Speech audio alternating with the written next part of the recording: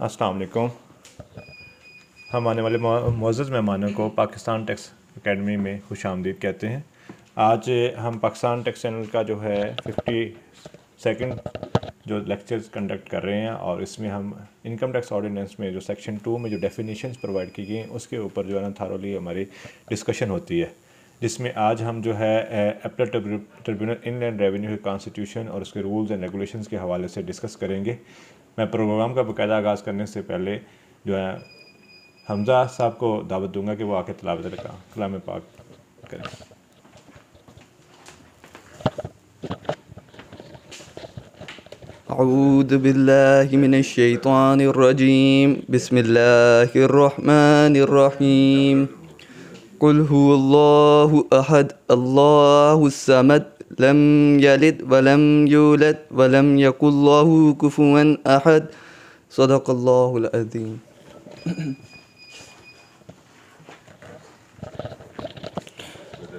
जजाकल्ला अब मैं हम सब के उस्ताद मोहम्मद मंशा सफ़ेरा साहब से दरख्वास्त करूँगा कि वो आएँ और प्रोग्राम का प्रोग्राम का बाकायदा आगाज़ करें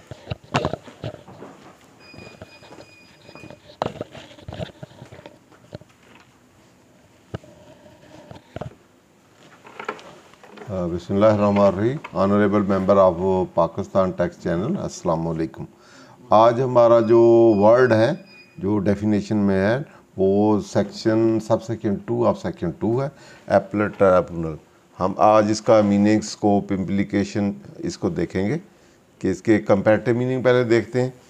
तो पहले इनकम टैक्स ऑर्डिनेंस 2000 जो लेटेस्ट है, इसमें देख लेते हैं। Appellate terminal mean appellate terminal in revenue establish under section 130 तो अब सेक्शन वन थर्टी अगर दूसरा भी देख लेते हैं उसके बाद इनकम टैक्स ऑर्डिनेंस में भी, वहाँ क्योंकि इनलैंड रेवेन्यू नहीं था 2009 से ऑनवर्ड इनलैंड रेवेन्यू बना है तो पहले इसकी मीनिंग जो थे डिफाइंड था, इसका सेक्शन टू था सेक्शन थ्री था of the income tax repeal income tax ordinance 1979 जिसमें एपिटल terminal mean एपिटल terminal constituted under section 133 of the income tax ordinance होगा three of the repeal act होगा। उसके बाद थ्री ऑफ़ द आगे ordnance नहीं लिखा, वो आर्डिनेंस में आधी डेफिनेशन रहेगी। उसके बाद इनकम टैक्स 96 इंडियन है, वहाँ भी ये डिफाइंड है। Mean appellate tribunal constituted under section 252 of that ordinance that act उनका जो है। तो ये कंपेरेटिव डेफिनेशन है। तो आज हम पूरा स्कोप देखते हैं कि मीनिंग तो यहाँ है, इसके बाद एपलेट ट्रिब्यूनल जो है, उसकी कॉन्स्टिट्यूशन कैसे है उसकी कंपोजिशन क्या है, उसके फ़ंक्शन क्या है बेंच सिस्टम क्या है, कौन बनाता है, कैसे असाइनमेंट होती है तो वो हम सेक्शन वन थर्टी है, उसका पूरा स्टडी करेंगे। फिर ये सेकंड फोरम ऑफ़ अपील है। पहले कमिश्नर अपील को फ़ाइल होती है, जो कि ऑनलाइन होती है आजकल। लास्ट हमने इस पर लेक्चर दिया हुआ है ऑलरेडी तो अब हमारा लेक्चर जो होगा, ये सेकंड अपील को कवर करेगा। तो इसमें हम अपील का स्कोप भी देखेंगे अपील क्या होती है अपील का फ़ाइल कैसे करनी है, और किन आर्डर के अपीलेबल आर्डर है टाइम प्रेस्क्राइब क्या है प्रेस्क्राइब फॉर्म है कि नहीं, अगर डिले हो जाए तो कंडोनेशन के लिए क्या प्रोसीजर है। फिर अपील फ़ाइल करने के बाद, अगर आप वैलिड है, उसके कौन से रूल रेगुलेशन अप्लीकेबल हैं, इसी तरह जो प्रेस्क्राइब रूल्स हैं एबलेट ट्रिब्यूनल रेवेन्यू के 2010 वाले तो उनको हम देखेंगे। इसी तरह अपॉइंटमेंट ऑफ़ चेयरमैन और मेंबर जो हैं जुडिशियल अकाउंटेंट मेंबर उनके प्रेस्क्राइब रूल जो हैं, उनको हम देखेंगे। इसी तरह रूल्स हैं इनकम टैक्स रूल 2002 जिसमें से 76 ए बी सी और 77 और 78 वो पहले 76 से और सब जो हैं वो कमिश्नर अपील के हैं 77 जो है वो प्रेस्क्राइब फॉर्म है फॉर द एपल ट्रिब्यूनल और आगे 78 जो है वो रेफरेंस वाला है। तो ये सारे एरिया फिर हम देखेंगे वन बाय वन तो अब हम पहले देख लेते हैं सेक्शन 130 फिर हम अपील को देख लेंगे। पहले कॉन्स्टिट्यूशन है कि एस्टेब्लिशमेंट और कॉन्स्टिट्यूशन है एपल ट्रिब्यूनल रेवेन्यू है। तो उसके हम कंपोनेंट दे लेते हैं तो उसके सेक्शन हम देख लेते हैं। तो पहला there shall be establish and appellate tribunal to be called appellate tribunal inland revenue to exercise the power and perform the function conferred on the appellate tribunal inland revenue by this act by this act तो ये ordnance होना चाहिए। चलो। उसके बाद सही है ना? नहीं है?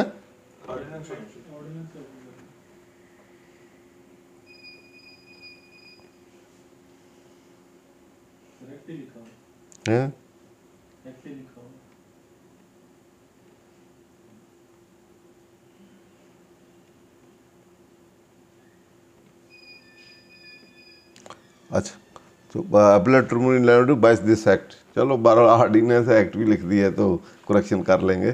तो उसके बाद सेकंड है, ये तो जो इस सेक्शन के तहत ऑर्डिनेंस के तहत जो बनेगा तो उसको कहेंगे हम कि वो ट्रिब्यूनल है। इसकी कंपोजिशन आगे है। The appellate tribunal shall consist of chairman एक चेयरमैन होगा such judicial and accountant member who shall be appointed in such a number उनकी नंबर जो है कि कितने हों in such a manner air prime minister may prescribe by rules तो prime minister जो है वो रूल प्रेस्क्राइब करेगा कि कितने चेयर कितने मेंबर जुडिशल होंगे, कितने अकाउंटेंट होंगे और कितने नंबर होंगे which may be made and shall effect not with contain section दो सौ सैंतीस or any law for the time or rule for the time being in force दो सैंतीस जो है रूल फ्रेमिंग पावर है, कोई यहाँ कराने की ज़रूरत नहीं उस सेक्शन के तहत तो बोर्ड को पावर है, दो सैंतीस जो है, या किसी और लॉ में किसी फेडरल गवर्नमेंट को या किसी को वो नहीं, यहाँ पावर स्पेसिफिकली किसको दी गई हैं? प्राइम मिनिस्टर को दी गई हैं प्राइम मिनिस्टर रूल फ्रेम करेगा और रूल फ्रेम करके उसके तहत वो जितना भी अपॉइंटमेंट ऑफ़ चेयरमैन है या जुडिशियल अकाउंटेंट मेंबर है, उनके लिए रूल फ्रेम करके उसके अकॉर्डिंग फिर अपॉइंट होगी। तो आगे हम देखते हैं उसके रूल अपॉइंटमेंट ऑफ़ चेयरमैन और उसके रूल्स भी हैं। प्राइम मिनिस्टर ने जो है एस आर ओ वो जो है उसके तहत 2020 में है तो हम लेटर ऑन फिर उसको देखते हैं। तो उसमें चेयरमैन और अपॉइंटमेंट ऑफ़ मेंबर जो हैं उनका एलिजिबल क्राइटेरिया ये वो है बाकी चीज़ें भी रेलिवेंट लाद हैं। नेक्स्ट देखो। ये नीचे क्या?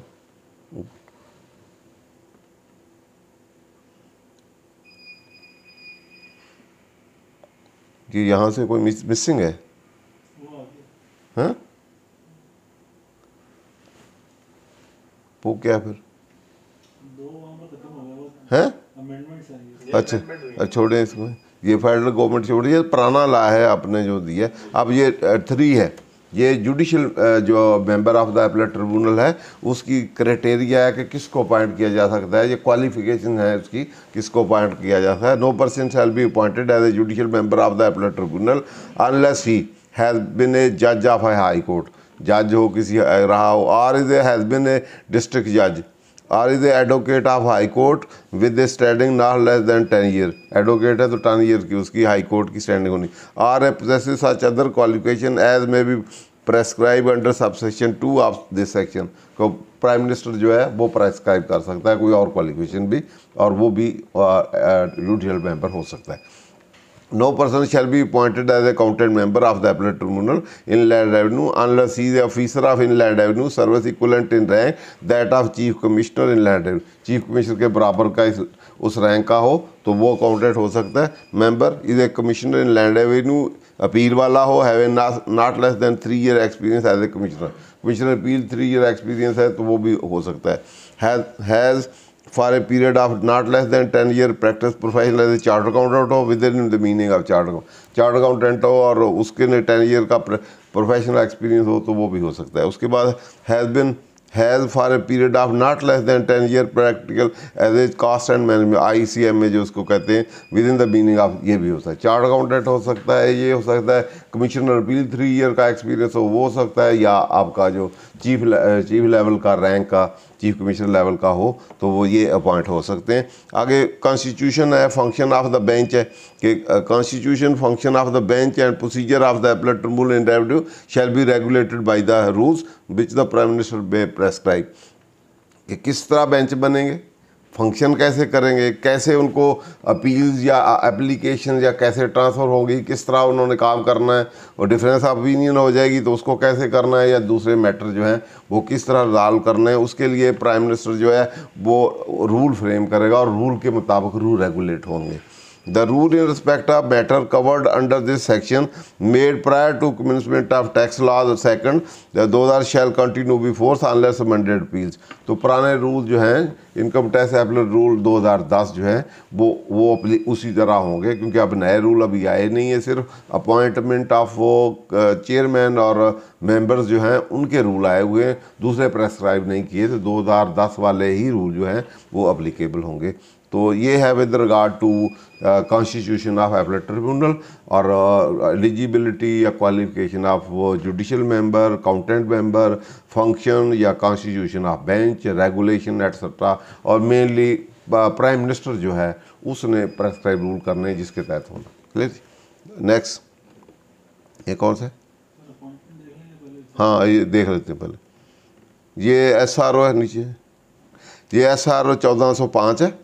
In the exercise the power under section income tax ordinance the prime minister is please to make the following rules. ठीक है? Commencement, the rule may be appellate tribunal rules, appointment of chairman and member 2020 तो appointment है तो इसके मुताबिक ये rules हैं, appointment के। क्लियर?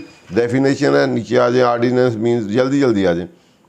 इसके बाद dovey division concern mean division to which business और tribunal stand allocate member accountant ये वो tribunal effort establish manner of appoint no person shall be appoint judicial member is a एक major qualification वहाँ है और ये रूल में qualification. ठीक है वो भी होना ज़रूरी है फंडामेंटल और ये भी citizen of Pakistan is of good mental and body health and free from any physical defect likely to be interfere the discharge of is duty and for that purpose he shall be required to obtain physical fitness certificate from the authorise medical board before resuming of charge as member वहाँ भी qualification की है वो भी।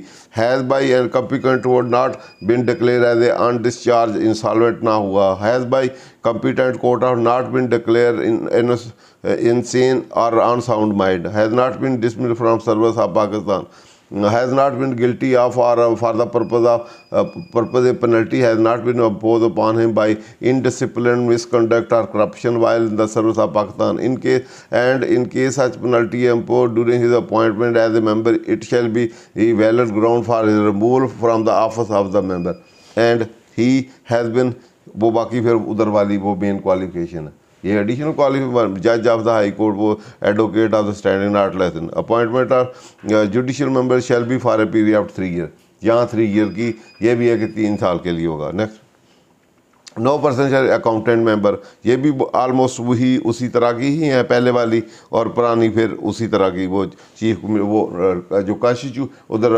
Ordinance में जो qualification है, वो इन एडिशन टू ये हेल्थ हेल्थ और दूसरी वाली इंसॉल्वेंट ना हो करप्शन ना हो, ये वो वगैरह वगैरह ये appointment of accountant shall be for a period of three year or till attaining age of sixty five year if the income member does not belong to serve of Pakistan वो sixty five तक होता है if he. Belong to serve of Pakistan he shall hold of till the age of superannuation applicable to his group service or cadre which he belong whichever is earlier clear जैसे chart accountant जो है या I C M है, वो ज़्यादा साल sixty five तक होता है। दूसरे यूजली सिक्सटी तक होंगे।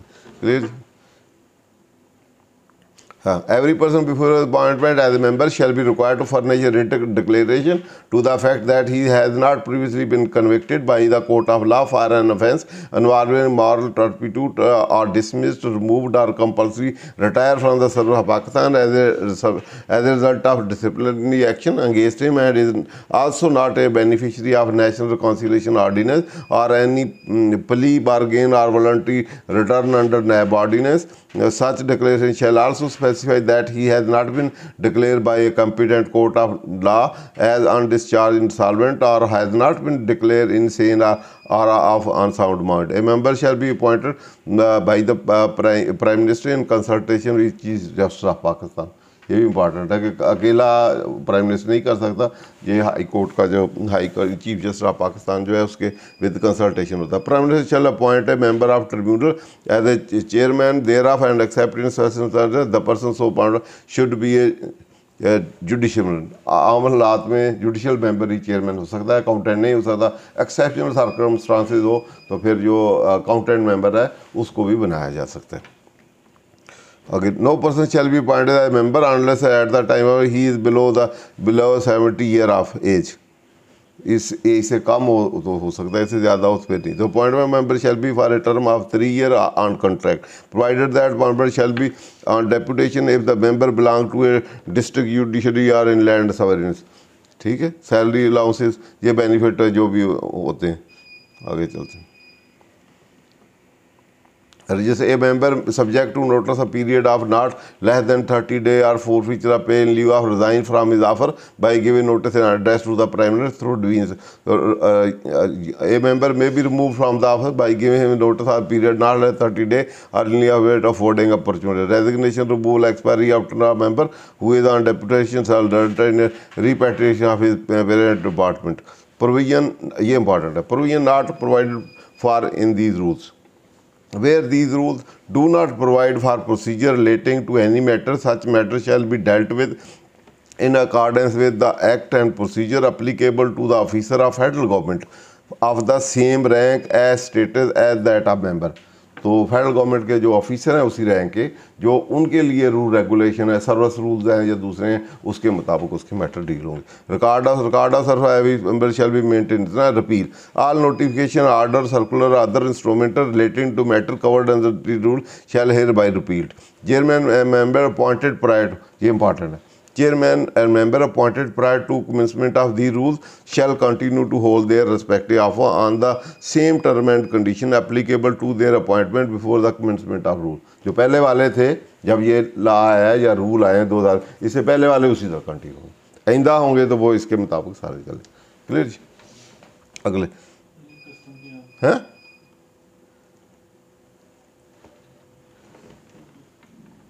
अब सेक्शन अगले पे ये अपॉइंटमेंट ऑफ़ चेयरमैन और जुडिशल और अकाउंटेंट मेंबर उनकी रेगुलेशन उनकी या, उनकी सैलरी वगैरह या रिटायरमेंट रेजिग्नेशन रिमूवल ये वो मिसकंडक्ट सारी वो उसके मतलब था। तो जो प्रायर प्राइम मिनिस्टर ने रूल फ्रेम करने थे पॉइंट वो उन्होंने ये कर दिए उससे पहले वाले उसी तरह होंगे। तो नेक्स्ट अब आ, आ जाते हैं रूल वन थर्टी वन ये सेक्शन है सेकंड अपील है अपील के लिए कुछ हम चीज़ें हैं। पहले भी हमने जो एक इस पर प्रेजेंटेशन दी है, वो अवेलेबल है यूट्यूब पे भी। वहाँ भी आप सकते हैं। वहाँ डेफिनेशन ऑफ़ अपील है कि अपील क्या है। Appeal usually an application by the aggrieved person from the order of lower authority to the higher authority तो हायर अथॉरिटी को आप फ़ाइल करते हैं अप्लीकेशन करते हैं। टू रीड्रेस या to for redressal of grievances कि मेरे ये ये चीज़ें हैं, उसके लिए हायर अथॉरिटी को दी जाती हैं। Appeal usually is a matter of statue इसका मतलब है, जहाँ स्टैचू ने आपको अपील प्रोवाइड की है तो फिर ही आप कर सकते हैं। ये अगर स्टैचू ने प्रोवाइड नहीं की तो फिर आप अपील फ़ाइल नहीं कर सकते। अपील जहाँ प्रोवाइडेड है तो देन वो that is substantive right of the appellant जिसने अपील फ़ाइल करनी है, वो फिर स्टैचरी राइट है, उसको एक्सरसाइज कर सकता है। और और उसके बाद अपील, अगला रूल जो है, appeal is continuation of original assessment proceeding तो उसी की आगे कंटिन्यूटी है। तो जो अपील है, वो ओरिजिनल जो असेसमेंट है, उसी के आगे कंटिन्यू चलती है। वो सीरीज़ ऑफ़ वो स्टेप्स हैं इन द असेसमेंट प्रोसीडिंग उसको समझा जाता है। जब अपील फ़ाइल किया जा, की जाती है when appeal is filed it is as it is all matter stand reopen जो मैटर पहले डिसाइड किए हैं बाय द लोअर अथॉरिटी वो दोबारा रीओपन हो जाते हैं। और उसमें अपील के लिए अपील का स्कोप जो है, इसमें वो रीअप्रेज हो सकती हैं सारी चीज़। फैक्चुअल भी और लॉ भी रीअप्रेजल का मतलब एविडेंसेस ये वो दोबारा देखे जा सकते हैं। सब्जेक्ट टू हर एक लॉ में जो भी जहाँ to the extent provided there just वैसे अपील का मतलब अपील रिव्यू रिवीजन रेक्टिफिकेशन और रेफरेंस इनमें फ़र्क होता है। Appeal scope is broader broader होता है इसमें, ऐसे ही जैसे मैटर पहले था, हुआ ही कुछ नहीं है। दोबारा रीओपन हो गया। आप जो चीज़ें आपने, जो एविडेंस रीअप्रेज हो सकते हैं, दोबारा जिए जा सकते हैं, वो दे के दोबारा रीअप्रेज हो सकते हैं। रिव्यू जो होता है रिव्यू होता है usually same authority same authority ने अगर आर्डर कोई किया है, उसके बाद उसके पास कोई और इन्फॉर्मेशन आ जाए जो उस वक्त नहीं थी तो उसको दोबारा वो मॉडिफाई कर सकता है या अमेंड कर सकता है। जैसे हमारे भी एक सौ बाईस सेक्शन है, उसमें किया जा सकता है। तो सेम अथॉरिटी अगर करे on the base of certain definite information जो कि पहले नहीं थी, ये इसमें, इस रिव्यू में जो है, इसमें आप जो डॉक्यूमेंट्री एग्जिस्टिंग डॉक्यूमेंट है, उसकी रीअप्रेजल नहीं कर सकते। या फर्दर डॉक्यूमेंट उसमें ऐड नहीं कर सकते, कि उसकी रीअप्रेजल नहीं कर सकते। वो एग्जामिनेशन नहीं लिमिटेड स्कोप है। इस तरह रिवीजन है, जिसको एक सौ बाई पाँच है, जैसे मशहूर है, जिसमें, इसमें हायर अथॉरिटी लोअर अथॉरिटी के आर्डर को एग्जामन करती है। उसकी लीगैलिटी प्रॉपर्टी वो चेक करती है, कि वैलिडिटी चेक करती है। समझे कि इसमें कोई फलाह है तो वो उसको फिर अकॉर्डिंगली अमेंड कर सकती है। सब्जेक्ट टू कंडीशन हर लॉ में जहाँ कहीं दी हो, इस तरह रेक्टिफिकेशन है। अगर कोई मिस्टो मिस्टेक हो फ्लोटिंग ऑन द रिकॉर्ड या आर्डर तो उस सिचुएशन में जिसमें फर्दर इन्वेस्टिगेशन प्रोब उसकी ज़रूरत ना हो डिफरेंस ओपिनियन ना हो तो उस सिचुएशन में, ऐसी सिचुएशन में उन एरर और मिशन को और जो है रेक्टिफाई किया जा सकता है। अच्छा error and omission means error से बुराद ये होती है कि आपने कोई चीज़ गलत कर दी है। ओमिशन कोई चीज़ ओमिट हो, गई है। लिमिटेड स्कोर्ट में अदरवाइज़ आपसे ओमिशन के वर्डिंग में आ गई है। ये ओमिशन जो है मिस्टेक जिसको आप मिस्टेक कहते हैं तो मिस्टेक ऑफ़ फैक्ट भी हो सकती है और मिस्टेक ऑफ़ ला भी हो सकती है। और ये बायलेटर भी हो सकती है यूनिलेटर भी हो सकती है। दोनों की हो सकती है टैक्स पेयर की भी और टैक्स अथॉरिटी की भी और किसी एक की भी हो सकती है।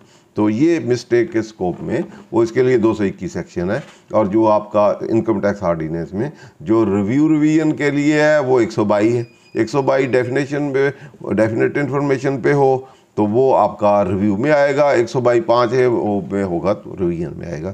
इस तरह रेफरेंस है। इस अपील के बाद अगर ये जो एपलेट ट्रिब्यूनल है, ये फाइनल फैक्ट फाइंडिंग अथॉरिटी है।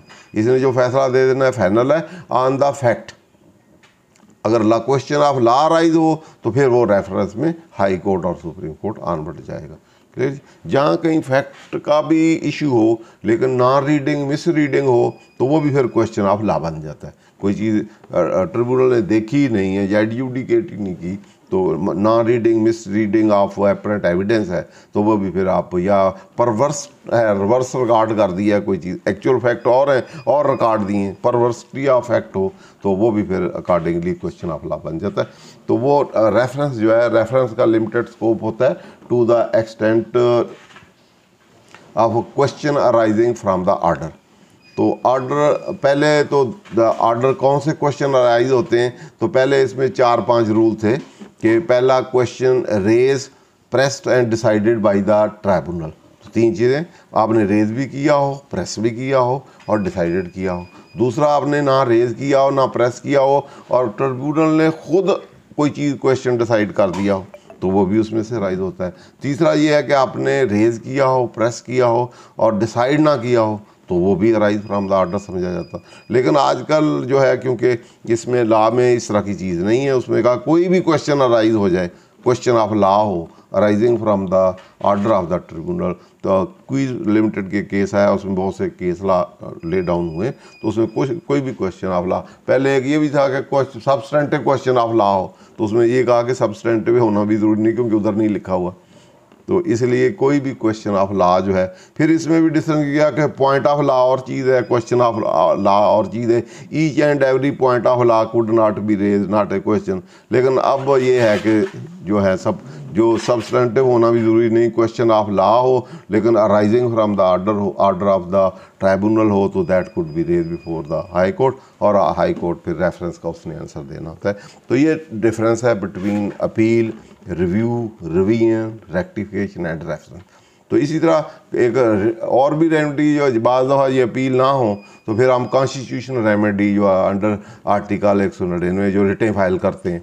अगर इधर अवेलेबल ना हो रेमेडी अफेक्टिव रेमेडी ना हो तो फिर उस सिचुएशन में या वायरस चैलेंज करना हो स्टैचू की अनकॉन्स्टिट्यूशनल हो या कोई सबॉर्डिनेट लेजिस्लेशन हो, या अदरवाइज़ कोई मेलाफाइडी चीज़ हो कलरेबल लेजिस्लेशन हो तो कुछ सिचुएशन में फिर हम रिट में डायरेक्ट चले जाते हैं। तो रिट में फिर वो 199 आर्टिकल के तहत फिर उसमें जा सकता है। कुछ रेमेडी ऐसी हैं, जैसे एडमिनिस्ट्रेटिव रेमेडीज़ हैं, जैसे आप एफटीओ चले जाते हैं तो वहाँ आप रेमेडी भी अवेल कर सकते हैं।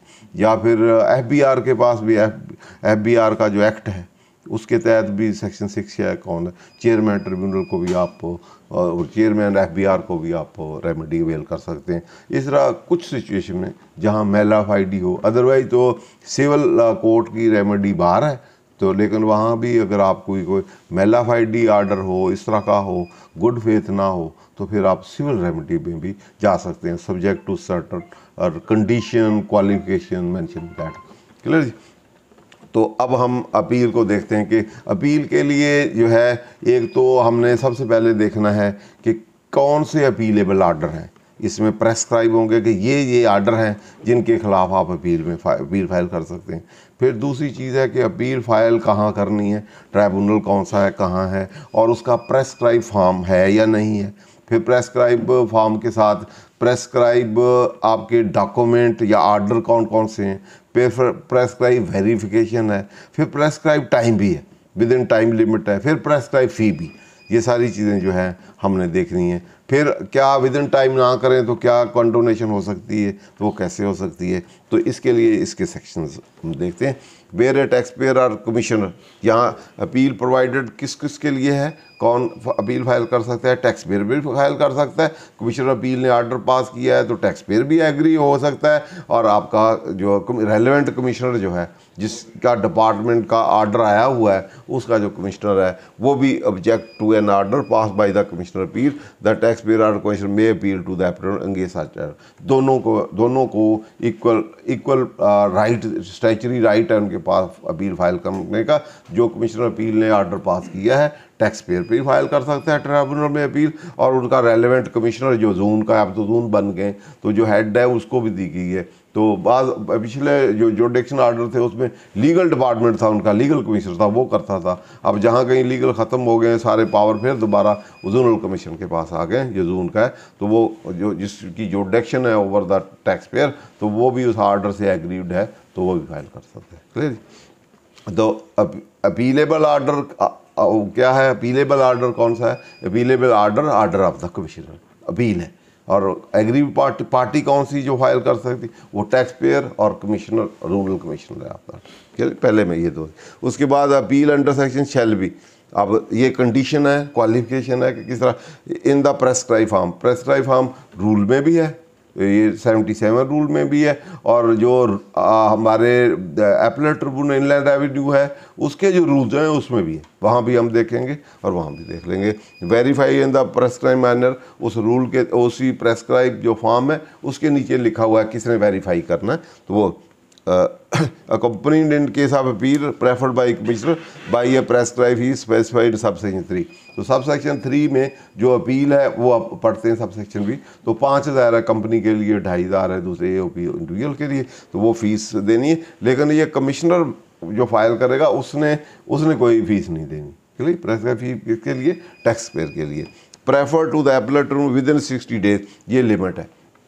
Within 60 days of the service of order of the commissioner appeal on the taxpayer or commissioner, as the case may be.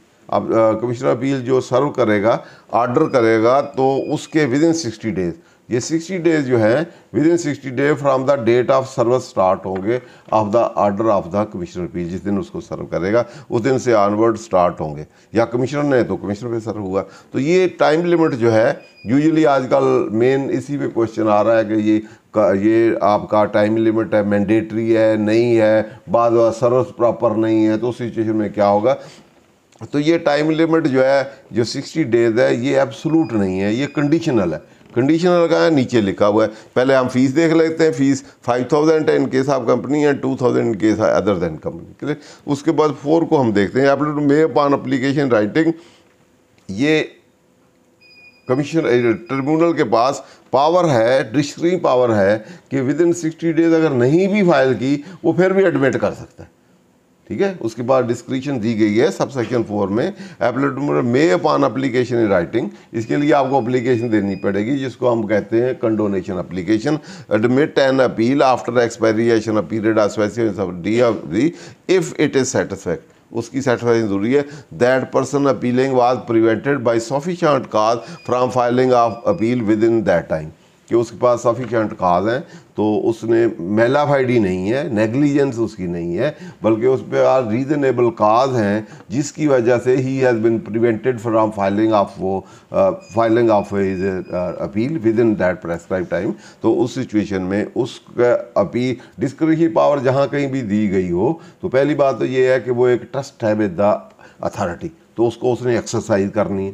Exercise करने के लिए आर्बिट्ररी एक्सरसाइज नहीं करनी. बोनाफाइडी उसने एक्सरसाइज करनी है और फिर एक रीज़नेबल मैनर में एक्सरसाइज करनी है। तो इट मीन जहाँ कहीं ये सरकमस्टांसिस शो कर दिए जाएँ कि इनकी हालात की वजह से मुझे नोटिस नहीं मिला। या आया नहीं या मुझे ईमेल मेरा ख़त्म हो गया था उस पर उन्होंने भेजा है। तो रीज़नेबल काज आप दें तो उस सिचुएशन में आप जब अप्लीकेशन आप देंगे तो फिर एपर ट्रिब्यूनल आपका आ, मान सकता है। Not with that the appeal has been filed under this section textile under recovery there has been stayed by the appellant be payable in accordance with assessment इस पर हम सब सेक्शन फोर जो है कंडोनेशन पे हम application भी देखते हैं। केस भी देखते हैं, क्योंकि आजकल ये बड़ा बर्निंग टॉपिक है जिसमें लोगों के लिए मसाइल है। तो हम उसकी एप्लीकेशन क्या देनी है उस पर केस ला क्या है, किसको हम रिलाई कर सकते हैं? मोस्ट इंपॉर्टेंट केस ला है तो उसको हम देखते हैं। उसके साथ ही फिर हम स्टे ये दो इंपॉर्टेंट है। एक तो अपील थी अपील के साथ कंडोनेशन और स्टे एप्लीकेशन तो अगर आपका कोई रिकवरी है तो क्योंकि उधर डिपार्टमेंट तो आपसे रिकवरी करेगा तो उसके लिए आपने स्टे लेना है फ्रॉम द एपलेट ट्रिब्यूनल तो उसकी स्टे लेने की सब सेक्शन फाइव है। Not with appeal has been filed under section tax shall unless recovery there has been stay by the tribunal के ट्रिब्यूनल के पास आप डिस्ट्रिक्ट की पावर है। Be payable in accordance with assessment made in this case provided that if on filing application a particular case the tribunal is of the opinion that recovery एक minute. Recovery of tax levied under the ordinance and upheld by the commissioner Peace shall cause undue hardship to the taxpayer ये hardship financial hardship है या दूसरी कोई hardship है ये एक फरदोस है या कोई केस है उसमें मैडम आशा मलक ने, उन्होंने जज साहब ने हार्डशिप को काफ़ी उसमें बड़ा, उसमें फाइनेंशियल हार्डशिप है, या लीगल हार्डशिप है, या दूसरी हार्डशिप है डिफाइन की हैं तो वो सारी उन हार्डशिप की वजह से जो है, वो आप प्रूव करना है। अपने after affording opportunity of being hard to the commissioner may stays recovery suffer period not exceed one hundred and eighty days in aggregate total छः माह तक वो स्टे कर सकता है। Provided further that where recovery has been stay under this session stay shall cease to affect on the expiry या set period of 180 days following the day on which stay order was made and commission shall proceed to recover that provided further that in computing of set period of 180 days the period and for which recovery of tax was stay by the court shall be excluded तो छः माह खत्म हो जाए तो फिर आप high court जा सकते हैं।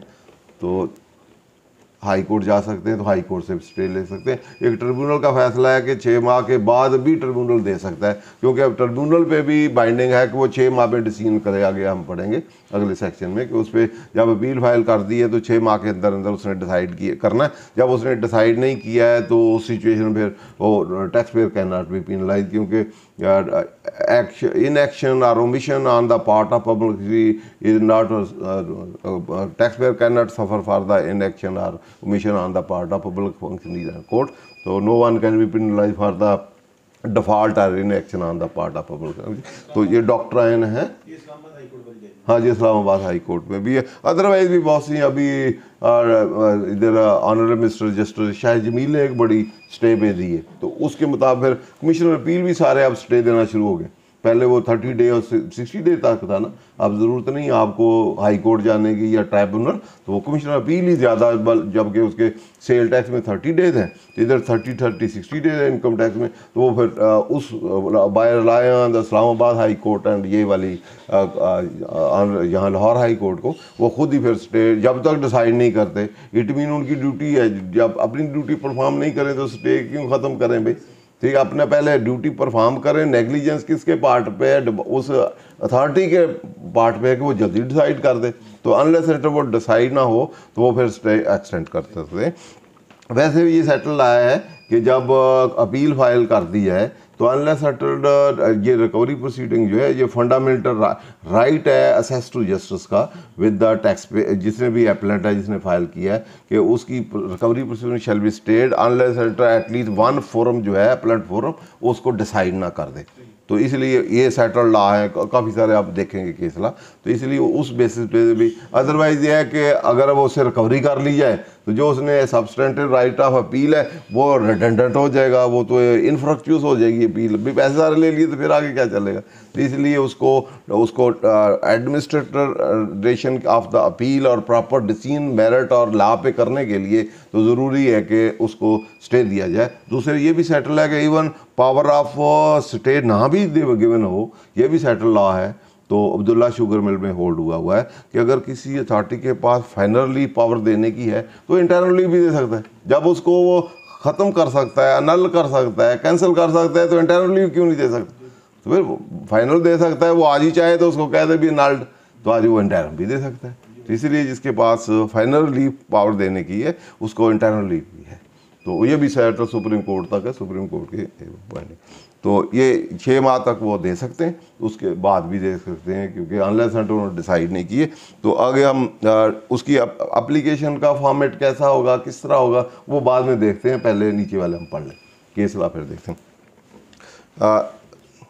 Disposal of appeal by the appellate tribunal तो ये इसमें पावर्स आएँगी कि ट्रिब्यूनल के पास क्या पावर्स हैं, कितनी देर या टाइम कितनी देर में करना है या क्या करना है, या अगर उन्होंने ऑर्डर कर दिया तो उसके बाद उसके अंगेंस्ट क्या रेमेडी अवेलेबल है तो वो हम इसमें देख लेते हैं।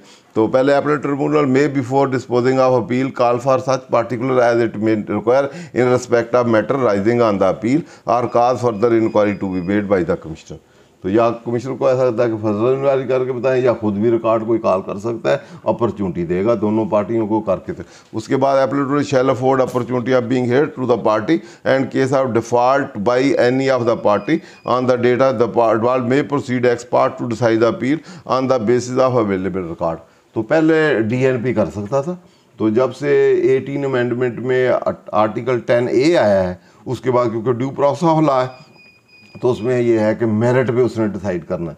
अगर आपने जितने भी क्वेश्चन आपने ग्राउंड दिए हुए हैं, अब वो इस तरह नहीं कर सकता D N P dismissed non prosecution dismiss पहले कर देते थे तो उस आने के बाद अब उसकी ड्यूटी है कि उसको मेरिट जो अवेलेबल आप रिकॉर्ड है रिकॉर्ड में आपके ग्राउंड भी हैं। तो एक एक को वो एडजुडिकेट करे और ये ड्यूटी जो है जज की ड्यूटी होती है कि he must low know the law of land and apply for the end of justice तो वो उस पर अप्लाई करे जो आपके ग्राउंड दिए हुए अगर आ, नहीं भी आया टैक्स पेयर या जो भी जिसने अपील फ़ाइल की है नहीं भी आया तो वो उसको जस्ट डीएनपी नहीं कर सकता या एक्सपार्ट सिंपली नहीं कर सकता। उसने उसको मेरिट पे या ग्राउंड को सारों को एडजुडिकेट करके स्पीकिंग आर्डर पास करना है। इस पर अभी एक जजमेंट भी आई है। अभी हम लेटर डिस्कस करते हैं।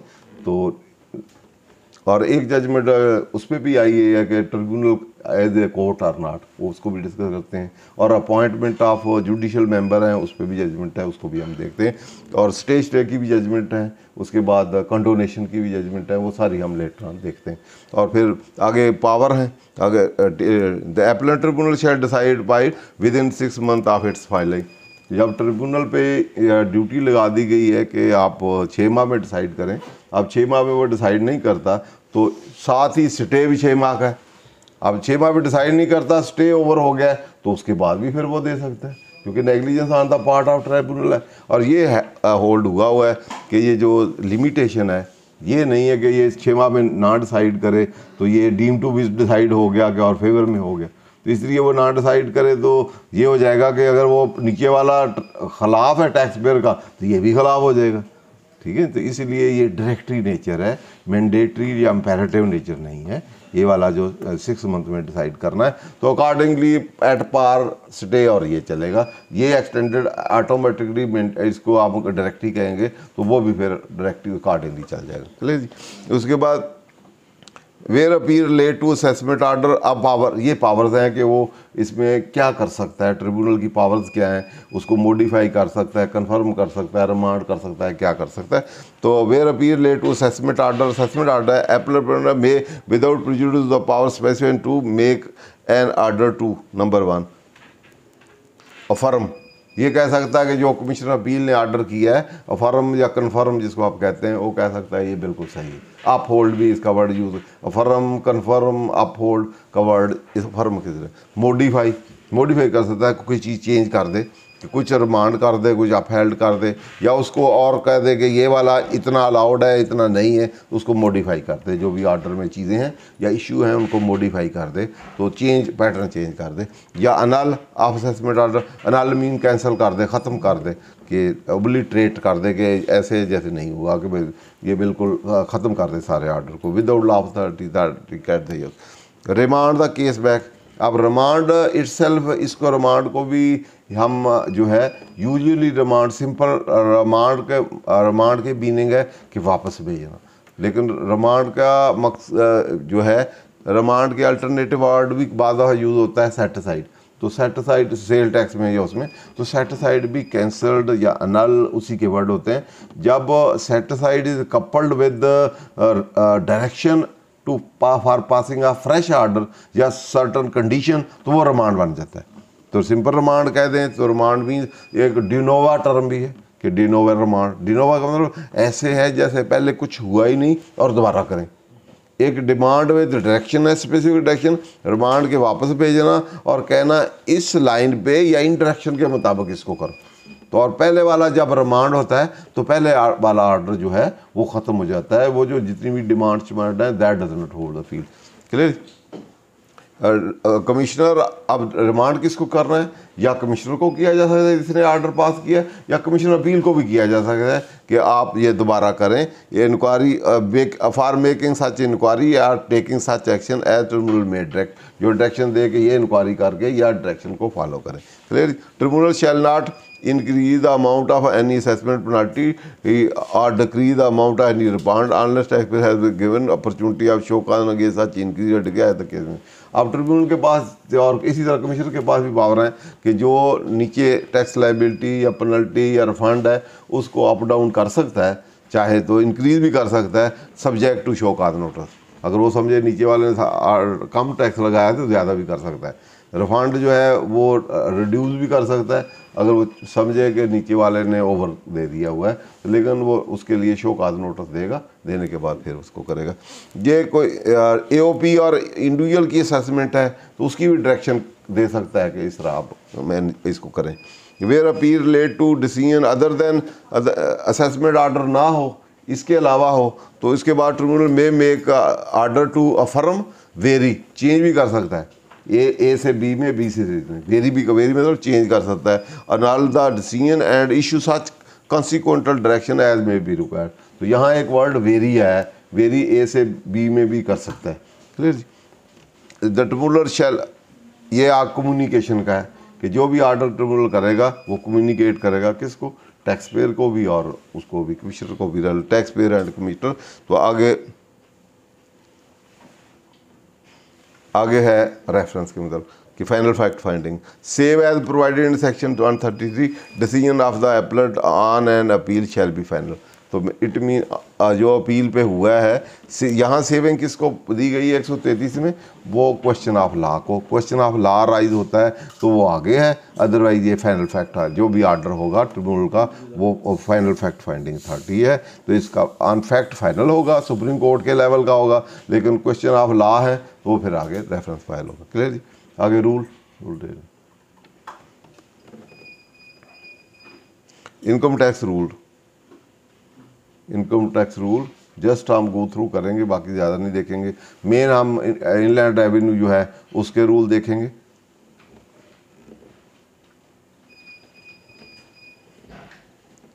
सेवेंटी सिक्स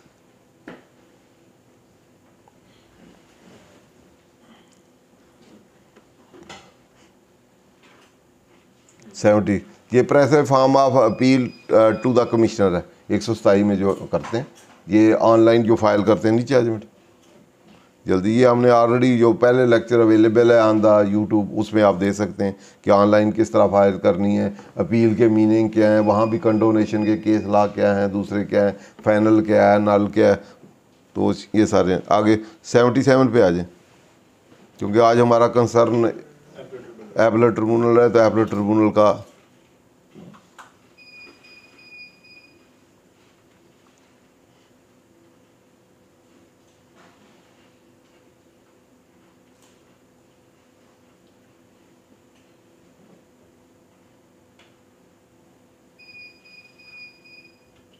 ये prescribe form appeal to the appeal under section shall be following form and verify in the manner क्योंकि वहाँ दो कंडीशनें थी एक वेरीफाई प्रेस्क्राइब फॉर्म था एक वेरीफाइड मैनर थे तो वो इसी में उन्होंने कर दिया। Appeal to the under section ये ये नंबर शंबल एप्पल रिस्पॉन्डेंट है in inland in which assessment order made यहाँ आप लिखेंगे कहाँ लोकेटेड है। फिर tax year to which appeal relate section of under which commissioner pass the order commissioner appeal passing the order कौन है? डेट ऑफ़ कम्युनिकेशन जब से आपको आए, जिससे वो आपका सिक्सटी डेज़ स्टार्ट होने, वो आपने एड्रेस टू विच नोटिस में भी सेंड एप्लेंट को किस नोटिस पे दिए जाएँ? क्लेम इन द अपील क्या एड्रेस टू ये यहाँ आपने क्लेम क्या। बस खत्म हो गया। क्लेम इन द ग्राउंड भी होंगे इसमें ये ग्राउंड ऑफ़ अपील यहाँ ग्राउंड ऑफ़ अपील आप यहाँ भी कर सकते हैं अटैच भी कर सकते हैं। तो इस पर भी हम डिस्कस करेंगे। ये वेरिफिकेशन वही वही या एप्लेंट या company A O P of the appellant do hereby declare what is state by true and fact to the best of verify to दे इतना इतना। ये प्रेस्क्राइब फॉर्म ठीक है? अगला फॉर्म सेवेंटी ये ये कुछ चीज़ें इंपॉर्टेंट है। The memorandum of appeal including the ground of appeal when filed on a separate paper must be in triplicate and should be company by two copy at least one of which should be certified copy of the order appeal against and two copy of the order of the commissioner ठीक है जी? ये आपने जो चीज़ें साथ लगानी है।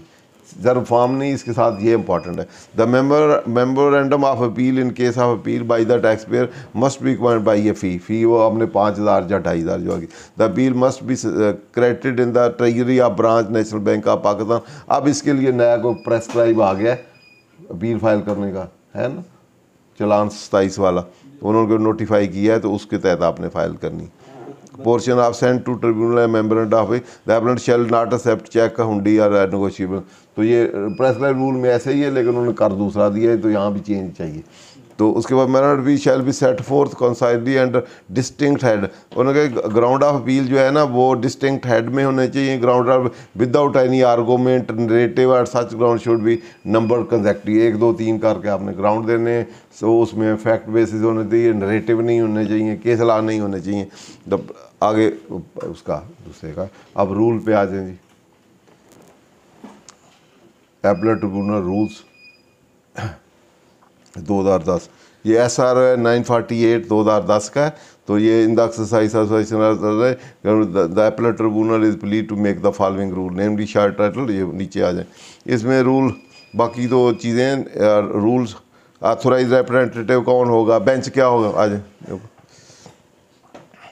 Bench mean bench after constitute under subsection seven of section thirty and include and include the chairman or any other sitting singly under subsection of the chairman mean chairman of the tribunal member ordinance नीचे आ जाए। Prescribe ही mean for इसमें prescribe form है, नीचे आ जाए। All other expense उसके sitting of bench A bench shall hold holding at the headquarter or such other place as the chairman may consider explain. Power of the bench. A bench shall hear and dispose of such appeal and application made under the relevant act ordinance as are assigned by the chairman or any member authorized by the chairman. मतलब chairman assign करेगा appeal भी वो भी, जिसको assign करेगा वो करेगा। In the absence of chairman and member designated for the purpose the senior member may transfer an appeal or application from one bench to another. Dress dress कैसा होगा? अगर आपने ट्रिब्यूनल में अपील होना है तो office hours and holidays the chairperson chairperson and member of the tribunal shall bear the same dress as press by phi the जज of high court जज ऑफ़ हाई कोर्ट का वो मेंबर जो है चेयरमैन और मेंबर हैं, वो पहनेंगे। The tribunal the tribunal shall subject such special order of the observe the same office or holiday and period of as high court at the respective place जहाँ Lahore high court है तो लाहौर वाले पेशावर वाले, पेशावर सिंध वाले सिंध उसी तरह। Procedure of filing appeal a member and appeal to the shall be in the form next इसमें भी वही प्रेस्क्राइब फॉर्म है। ए बी है ए ए बी इसमें सेल टैक्स का भी है एक्साइज का भी है और इनकम टैक्स का भी है। तीनों के हैं। Whichever is applicable and present to the registrar और an officer authorise by him in this behalf or sent by means of register post or courier address to the registrar ये mode है, किस तरह आप भेज सकते हैं? डायरेक्ट रिसीव कर सकते हैं सो कोरियर या यूएमएस या वो भी आप कर सकते हैं। ये member or be sent by post under shall be deem to have been presented to the registrar और authorise by the registrar on the day on which it is receive in the office of the tribunal ये नहीं कि आज आपने भेज दी, उधर पहुँची महीने बाद है तो जिस दिन पहुंचेगी, उस दिन से देख, समझ जाएगी, उस दिन पहुँची। Date of presentation and registration of the registrar of the अफसर ने authorise by the in this behalf endorsed on the front page of every member of the the date on which it is presented or deemed to have been presented as rules है ना sign endorse and appeal to endorse shall be entered in the book to be kept for the उसमें record उसका कर लेगा who may be join the respondent in an appeal by person agree by order of board commissioner land revenue or other inland revenue commissioner the concern shall be made a respondent or where commissioner in land revenue object to an order passed by the board by the board or commission revenue appeal or any other uh, appellate tribunal, the, the person in whose favor an order by the commissioner revenue has been passed shall be made a respondent to the appeal. A respondent के उनको मिटाया जाता content of the every memorandum shall be written in Urdu or English and shall set forth concisely and distinct head specific ground of appeal. Ground of appeal उधर भी थी prescribe हमें इसके मतलब कि ये टेन भी important without any argument narrative and such ground shall be number consecutive तो इस पर भी है कि इसको इस बेसिस पे रिजेक्ट की जा सकती है अपील या नहीं है दोबारा की जा सकती है। ये रूल है क्योंकि मैंडेटरी नहीं है तो आप दोबारा भी आपको कहा जा सकता है अपॉर्चुनिटी दी जा सकती है। Document company by the appeal उधर भी हमने देखे हैं प्रेस्क्राइब रूल में यहाँ भी हैं। Every member of appeal shall be triplicate and shall be company by three clear and eligible copy the order of appeal engage order of the commission लैवरी as the case may be officer of the लैवरी copy of the ground of first appeal proof of payment of bill fee and certificate provided under rule बारह बारह में एक certificate है तो उसको भी आपने certificate देना है कि आपने कमिश्नर को, जो रेलिवेंट कमिश्नर है, उसको इसकी कापी आपने दे दी है और साइन करवा लें या अदरवाइज़ सर्टिफिकेट दे दें। In in bill by the commissioner land revenue there shall be pended certificate of memorandum of appeal showing continuation impugned order communication of order to the land in case of appeal by the officer officer land land certificate to there that he has been so authorized. अगर उन्होंने file करनी है तो उन पर ये applicable है। Side which is not accompanied by R R M description है, इसके बगैर भी कर सकता है। अपने चल next index on the face of memorandum showing document filed under these rules with passing pay, uh, paper uh, book form in triplicate triplicate index लगा के सारे डॉक्यूमेंट देते हैं intimation of filing of bill to the respondent the appellant share दोनों अगर commissioner file कर रहा है तो वो उसको इंटीमेट कर देगा अगर टैक्स पेयर है तो वो डिपार्टमेंट को इंटीमेशन कर देगा filing of affidavit where fact which can not be borne out of record तो उसका एफिडेविट दे देगा उससे ज़ाहिर नहीं है तो ground which may be taken in appeal the appellant shall not except by leave of tour तो जितने ग्राउंड आपने लिए हैं वो या दूसरे कोई और भी लेने हैं तो नए भी ऐड करने तो विद द परमिशन ऑफ़ जो है वो आप फोर्स विद कर सकते। Defective appeal where member is not filed in the manner president rule the registrar और the officer authorize under this rule seven may require or his authorized representative, if any, to bring same in conformity with the rule within such time, not exceeding 15 days as may be specified. तो आपको वो notice दे देंगे कि ये defective file है। इसमें ये ये शार्ट कमेंट पूरी कर दें तो आप विद इन सेवन डेज़ वो कर देंगे। पंद्रह दो where appellant authorize does not meet the requirement registrar authorize shall place the matter before the bench for such order है अगर आप नहीं फुलफिल कर दे तो वो प्लेस करेगा बिफोर द बेंच तो बेंच उस पर ऑर्डर कर देगा कि रिजेक्टेड अपील है या क्या करना है। ये इंपॉर्टेंट है। ये कंडोनेशन के रेफरेंस है। Appellant to explain delay upon the presentation of member of the registrar of the authorized introduced shall examine the copy of order appeal against and shall calculate whether after allowing the time given by the relevant law the member of appeal has been presented within time वो जो condonation time limit है जो 60 day में करनी तो ये वो examine करेगा कि विद इन दैट है कि नहीं क्योंकि मैंने कहा था कि time limit is statute of matter वो अथॉरिटी एग्जामिन करेगी कि विद इन टाइम है या नहीं है। उसके बाद the memorandum of be to be presented after the time press by relevant a note to the set shall be recorded by the register as the case may be by the officer so authorize where the appellant has not tender with the memorandum of any explanation writing reason for delay. The tribunal may allow the appellant to submit explanation writing, and upon certi- show cause show cause having shown, may admit a bill for hearing. तो एक तो ये है कि वो आपको notice दे देंगे भी विद इन टाइम नहीं अप्लीकेशन दे दें तो आप कंडोनेशन वाली अप्ली फिर दे दें। पावर अटॉर्नी ऑथोराइज जो ऑथोराइज होगा, वो पता ही है, इसमें ज़रूरत नहीं पड़ने की। उसके बाद authorize authorization to be authorization to be authorized and and having appeal unless document reference serna has been appended, such document will date and place of filing छोड़ देते हैं प्रिपरेशन ऑफ़ काज लिस्ट भी छोड़ देते हैं department का काम है। तो इसमें अगला कौन सा है?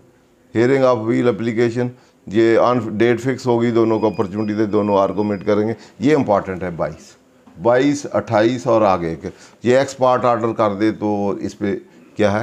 एक्सपार्ट आर डिसीज़न है रिकॉल ऑफ़ ऑर्डर अभी हमने उधर पढ़ा था कि अवेलेबल रिकॉर्ड पे मेरिट पे करना है। वो ला है तो यहाँ उन्होंने कहा कि एक्सपार्ट भी कर सकता है। तो ये उससे कॉन्ट्राडिक्ट है, इसको सुप्रीम कोर्ट ने साइड डाउन किया हुआ है। उन्होंने कहा मेरिट पे करना है। और सारे ग्राउंड जो है एडजुडिकेट करना है। तो यहाँ where on the date of fix for hearing or any other day to which the hearing is adjourned any or both or party fail to appeal when the appeal or application record for hearing may if it deem fit dismiss appeal और application in default और may proceed to size the appeal application on the basis available record तो dismiss default जो है, यहाँ है, वहाँ नहीं है।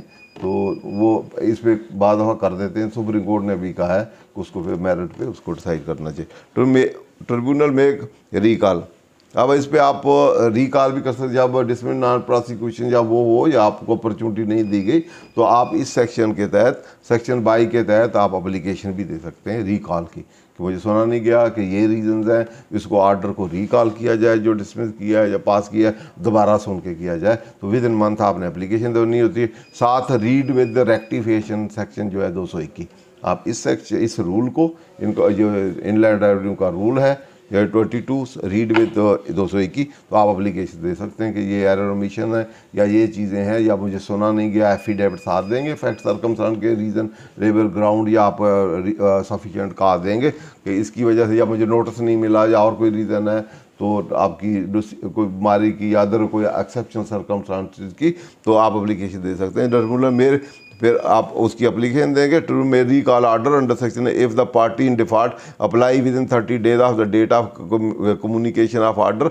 and satisfied tribunal that party was prevented by sufficient cause to appear when appeal applicable called for hearing on recalling of order tribunal shall fix date for hearing of the appeal and application तो दोबारा वो फिर उसको call recall की आप application देंगे, फिर आपकी लगेगी, अलाउ करेगी तो फिर वो ऑर्डर दोबारा हेयरिंग में चला जाएगा। In this rule word appear mean appear in person or through other continuation of proceeding after death और इंसॉल्वेंसी की ज़रूरत नहीं है। अठाई पे चलें।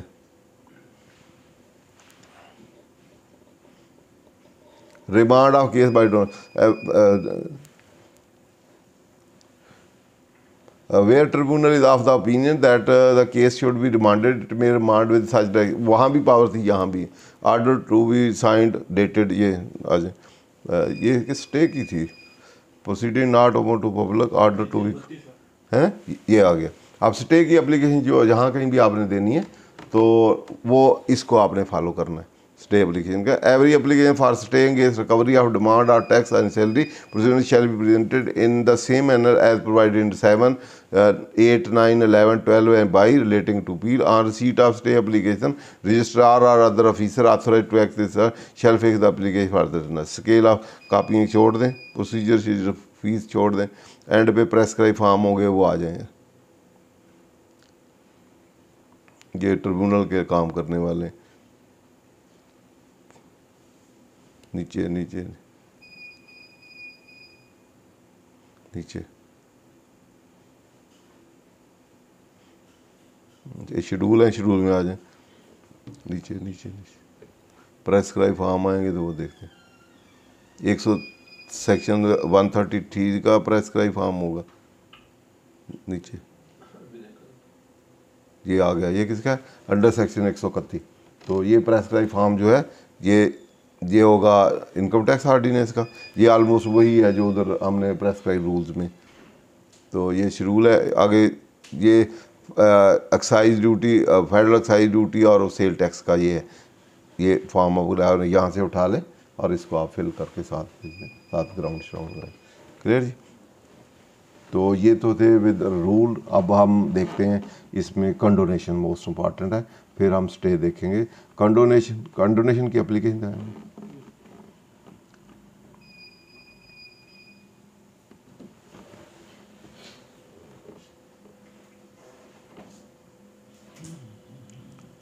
कि आप condone for delay of condone in filing of appeal तो आप address of the party, the is preferred by the company through its फलाम, मिस्टर फलाम ऑथोराइज इतना इतना।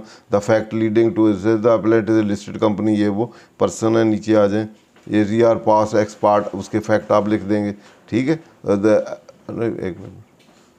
The accountant is on leave on certain days ये उसके आप देखेंगे क्या come to knowledge of the accountant order become passing is the uploaded on the year the subject order was not served within the meaning of section अठारह read with section एक सौ उनतीस चार of the read with reported judgment उन्नीस and F B R binding ये circular है, ठीक है? उसके तहत नहीं किया तो आगे and circular number so so and appellant also overlooked to consult the IR system and also neither any email intimation was made to the applicant. कि वो दिन के इंटीमेशन भी नहीं की ईमेल नहीं की वो ना? Or postal T S or any other substitute any other mode of service adopted by the C R appeal to avail the substantive right of engage the subject order as per long line of authority limitation notice and start from the date of knowledge कि limitation कब से start होती है? जब आपके knowledge में आए इस पे इस्लाम के डेट किधर था बेटा? हैं? Of from which limitation file the lane filing appeal is neither intentional not deliberate also not solely attributed to the registered person and also अंगेज the settled that no one can be force to perform impossibility and also not can not be punished for the fact for the act of nature or fault किधर गए? Nature or fault of the other as well as act or omission on the part of a public prejudiced to no one.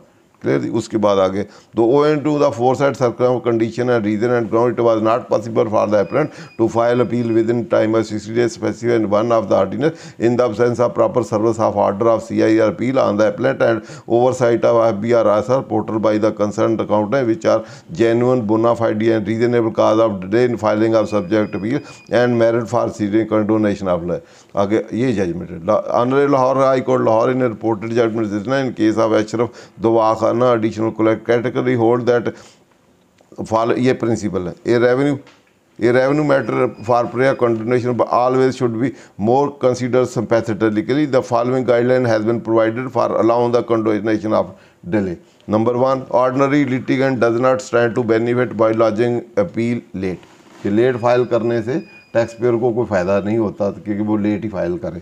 ठीक है? इस तरह refusing to condone condone delay can result in a meritorious matter being thrown out of at the very threshold and cause of justice being defeated कि अगर आपने eight the very outside आप कर देते हैं रिजेक्ट कर देते हैं तो मेरिट भी डिस्ट्रॉय हो गया तो जस्टिस भी जो है, वो भी डिस्ट्रॉय हो गया।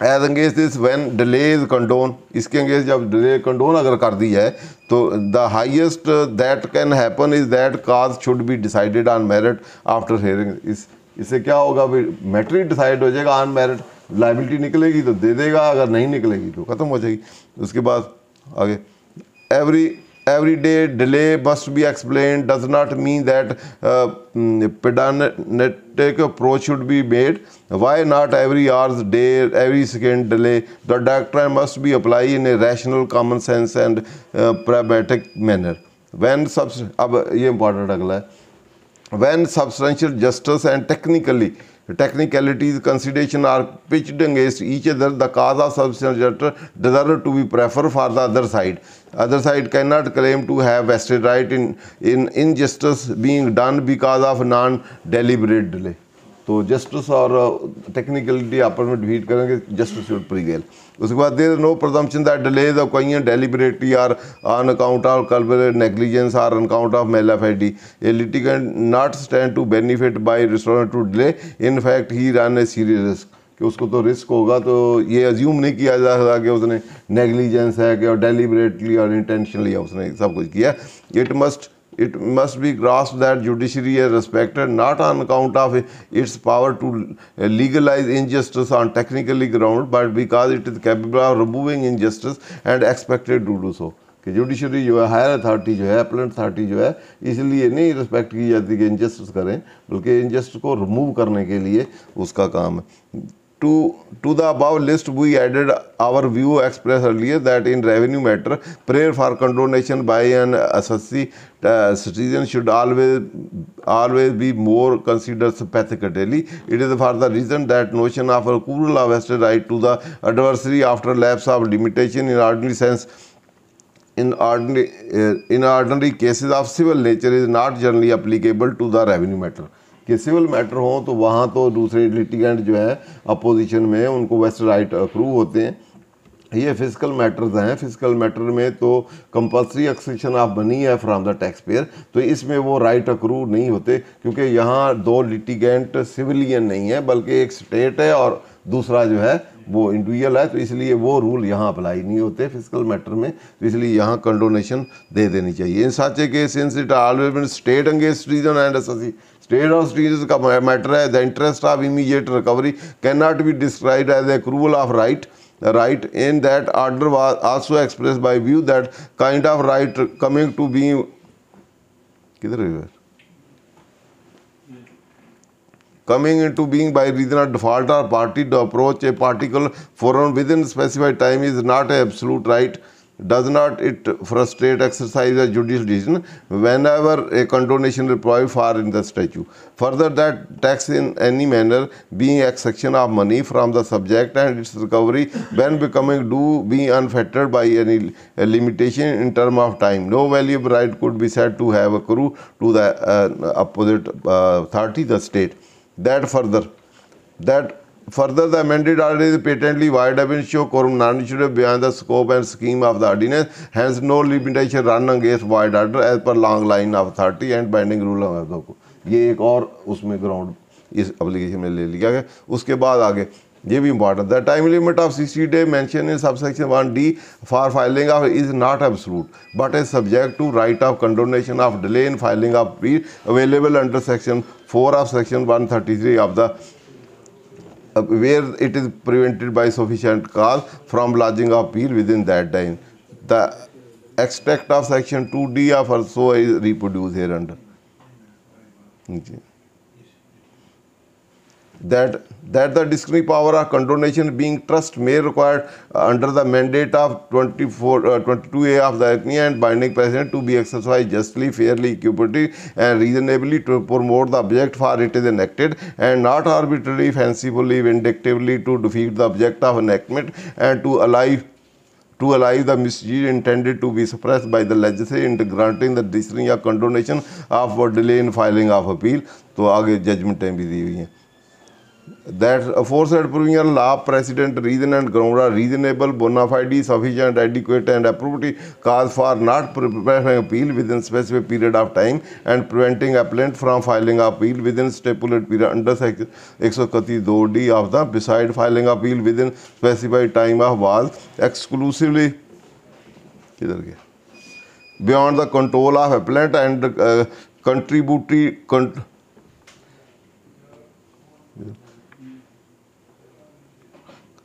contributory con- contributing condonable irregularity and procedure lab for delay and have prevented applicant from filing after to avail the subsequent remedy of appeal under section and degree the aforesaid law laid down but is also sufficient ground and reason for condonable in filing of appeal that if the applicant condonation is not entertained and allowed, then it would result in meritorious matter being thrown out of at the very threshold and cause of justice and division and appellant shall suffer irreparable loss and injury. उसके बाद prayer in view of the above law in view of the above provision of law and ruling of the court is humbly prayed that uh, instant application for condonation in filing of E may sympathetically be consider accepted allowed अंगेज the subject order without any further delay for the interest of justice and fair ये application आप जहाँ कही हो तो condonation का matter हो तो case ला भी हैं चीज़ें भी हैं तो आप किया हुआ है? ये ऊपर आपने पढ़ा नहीं? 218 भी है ई मेल भी है सारा कुछ है। करके नहीं ऊपर था ना एक सौ अठारह। देखिए बेटा था। है? ने इसमें लिखा हुआ है कि जितने 218 के मोड मैनर हैं वो अफेक्टिवली एक्सरसाइज नहीं की है। सब्सिट्यूट देखें 218 है इसमें भी? ये ये सेक्शन ही है ना। किधर था? ये दो सौ अठारह रीड विद सेक्शन एक सौ उनतीस चार। ये उसी के रेफरेंस मोड दिए हुए हैं ना अब for the subject or was not within sir इधर मोड भी था रिपोर्टेड ये एफ़ बी आर बाइंडिंग ये सर्कुलर ये मोड के मतलब है ना सबसे मेरा सवाल ये है कि 218 में जो mode of service substituted mode जो है। यही है इसमें यही 218 के mode of services substitute exhaust नहीं किए यही इसमें कहा है। और साथ एक सौ उनतीस चार का भी रेलिवेंट जो है कम्युनिकेट नहीं किया ऑन द टैक्स पेयर वहाँ कम्युनिकेशन का मतलब ये है ये दोनों को 218 को और उसको कहा के। और सिर्फ़ आईआरएस पे अपलोड करना ना ईमेल की ना वो की ना सर्व किया ना एग्जॉस्ट किए mode at a time exhaust substitute exhaust करने का मतलब सारे मोड एग्जॉस्ट उसमें एफ़ बी आर की सर्कुलर वो वो चीज़ें भी लिखी हैं। ये ना सर्वर ये सारे मोड जो दो सौ अठारह का है जो ट्रिब्यूनल है उनका कहना ये है कि आप- आपको एक सर्विस कर दी थी उन्होंने दो दफ़ा की थी वो ठीक है वो उसका अपना काम है हमने केस ला ये वो। अच्छा इसी पे वो एक, एक ट्रिब्यूनल का फैसला भी तो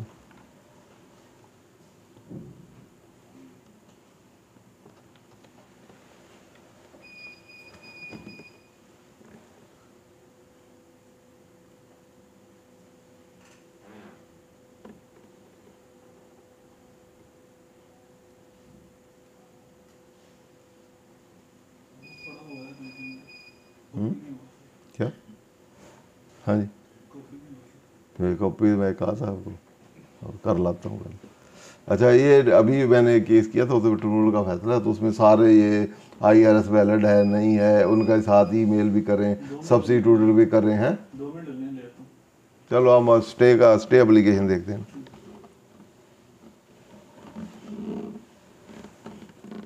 स्टे एप्लीकेशन वो सेक्शन जो सब सेक्शन फाइव था आप सेक्शन एक सौ तीस प्लस वो उसका जो है रूल्स का वो लें और उसके मुताबिक फिर दें और उसके नीचे आ जाए। हम ग्राउंड ले देते हैं, पहले फैक्ट लिख लें सारे, जो नोटिस छोटा आया है वो लिख लें। जी, फिर एंड पे ग्राउंड लिखते हैं impugned recovery notice of the DC under section of the ordinance for the subject S P recovery dispute demand during the pendency while is a bad in law ये पहला ले लें, फिर डॉक्टर एंड डिसपेंडेंसी जब pendency हो तो fault नहीं है, ये वो इसमें हेडिंग दिए हुए। डॉक्टर एंड डिसपेंडेंसी एक्टू से no one can be penalised for the act of other या no one can suffer for the for the error और omission on the part of the public जब वो डिपेंडिंग बडी decide नहीं कर रहा तो हमारा उसमें फॉल्ट नहीं। तो ये इसमें इसके मतलब की सलाह नीचे है। Access to justice due process ये वाला सुप्रीम कोर्ट मेयर लिखा है कि आप फंडामेंटल राइट है असेस टू जस्टिस तो एटलीस्ट एक फोरम ने इसको डिसाइड करना चाहिए, उस वक्त तक स्टे होना चाहिए। जी?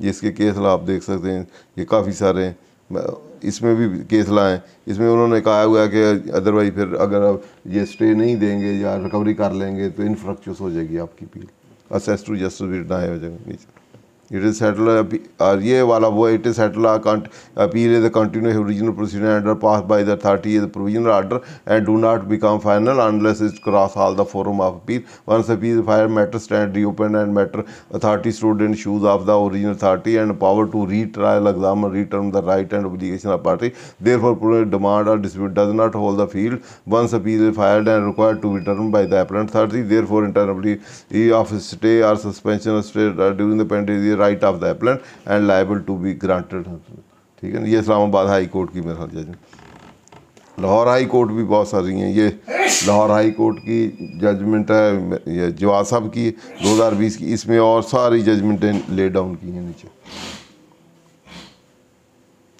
नीचे आ जाए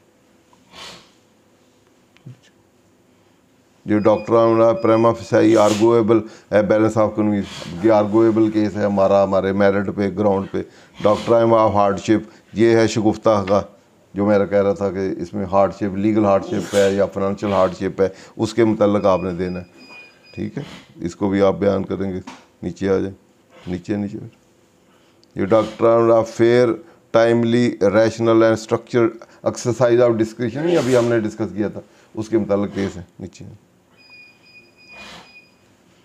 ये ट्रस्ट विद द स्टेट है डिस्क्रिप्शन जो है।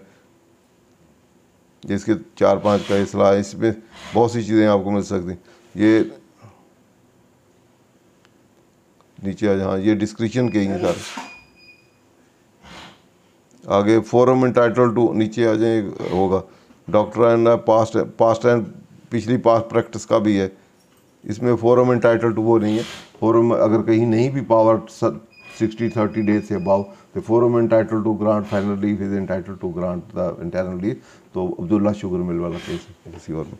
तो आप इसमें एप्लीकेशन देख के तो काटेंगे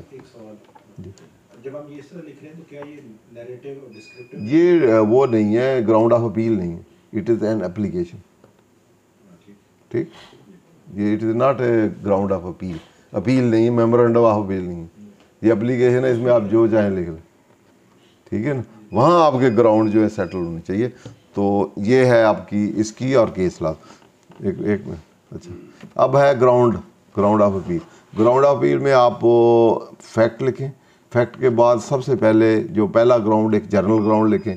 कि अप्यूड आर्डर ऑफ़ कमिश्नर अपील इतना इतना देंगे the fact law non judicial suffering from mis reading non reading without law liable to winner ठीक है? फिर आप उसको सबसे पहले हेड वाइज करें या वैसे करें तो सबसे पहले देखें कि जो विदाउट जोडिक्शन है, जो जोडिक्शन है, कि अथॉरिटी को कमिश्नर ने करना था डीसी ने करना था, किसने करना, उसने किया है कि नहीं?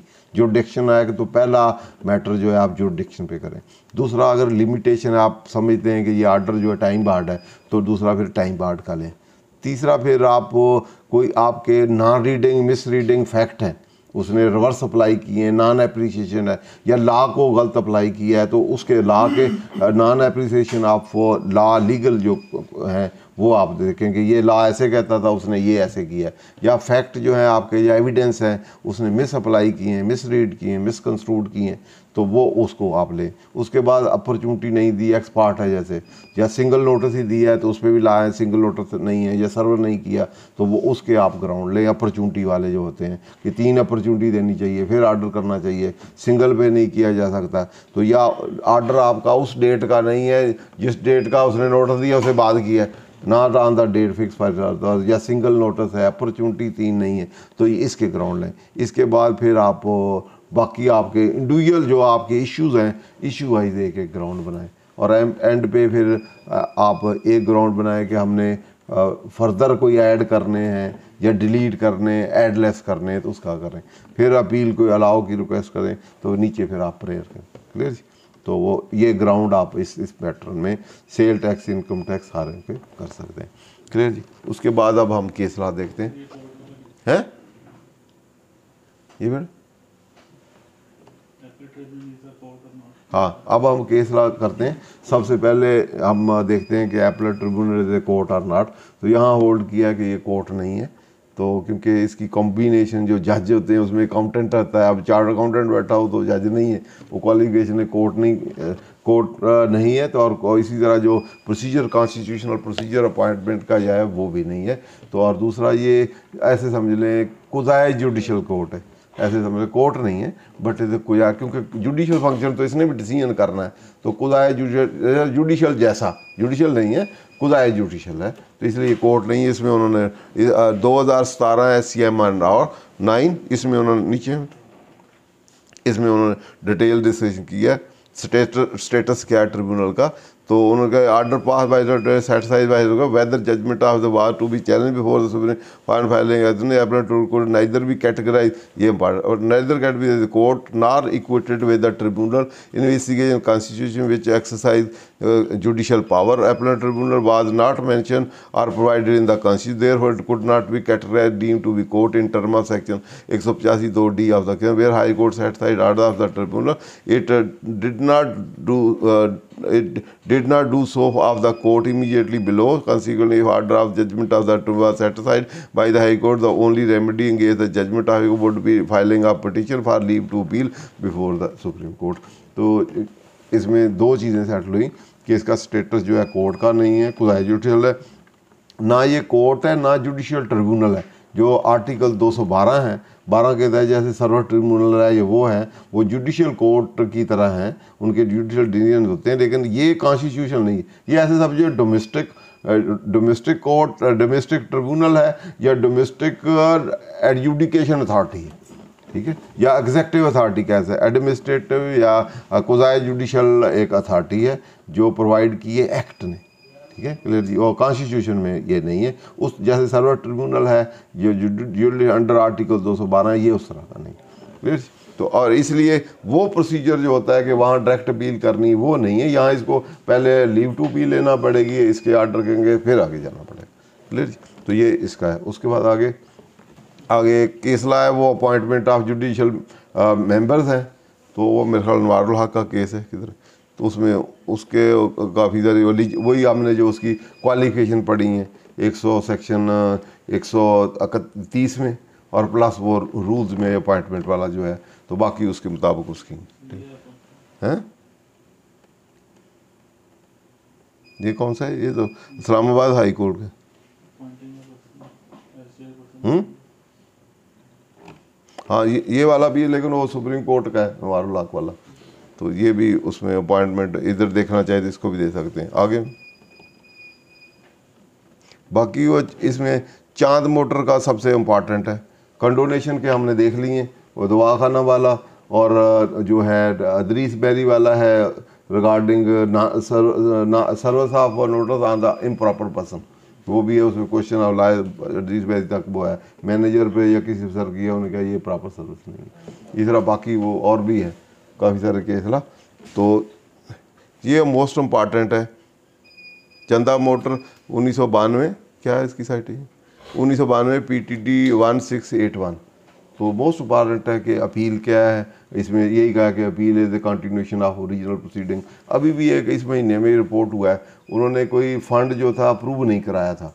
तो उन्होंने उसका जो इन डिडक्शन में जो सेक्शन आपका है इक्की का इक्की का एक्स के कौन सा है? उसमें वो जो जितनी कंट्रीब्यूशन की थी अम्प्लायर ने to word fund superannuation या ग्रेजुएट वो डिसअलाउ कर दी।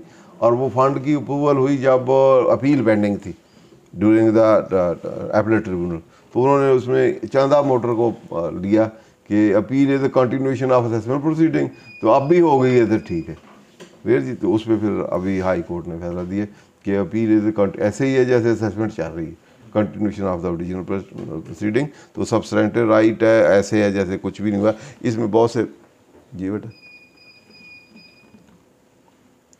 इसमें फनल्टी को भी लास्ट फनल्टी इनको भी डिफाइन किया गया। और फनल्टी कब होती है, उनके जब आल फोरम आप एक्सरसाइज कर लें ट्रिब्यूनल तक जो अब आर्डर है, जो पास करता है ओरिजिनल अथॉरिटी वो प्रोविजनल होता है फाइनल नहीं होता unless and it crosses all the forum of Veer up to the supreme court level तो फिर वो फनल्टी अटेन करता है। लेकिन दरमियान में भी फनल्टी अटेन कर जाता है। अगर कोई अपील फ़ाइल ना करे ऑप्शन कर नहीं फ़ाइल की तो उसके अंगेंस्ट उसी स्टेज पे। दोनों ही ना फ़ाइल करें तो वही फाइनल हो गया। अगर जो जो भी एग्री पर्सन अपील नहीं फ़ाइल करता, उसके अंगेट वो फनल्टी अटेंड कर जाता है। और दूसरी जो एग्री पर्सन होता है, जो अपील में जाता है, वो टिल द जिस फॉरम पे एग्जास्ट ख़त्म कर देगा, वहाँ फनल्टी हो जाएगी, या अल्टीमेटली अप टू द ओ सुप्रीम कोर्ट इसमें फन वर्ल्ड फाइनलाइज क्या है फनल्टी क्या है, वो काफ़ी चीज़ें इसमें की हैं।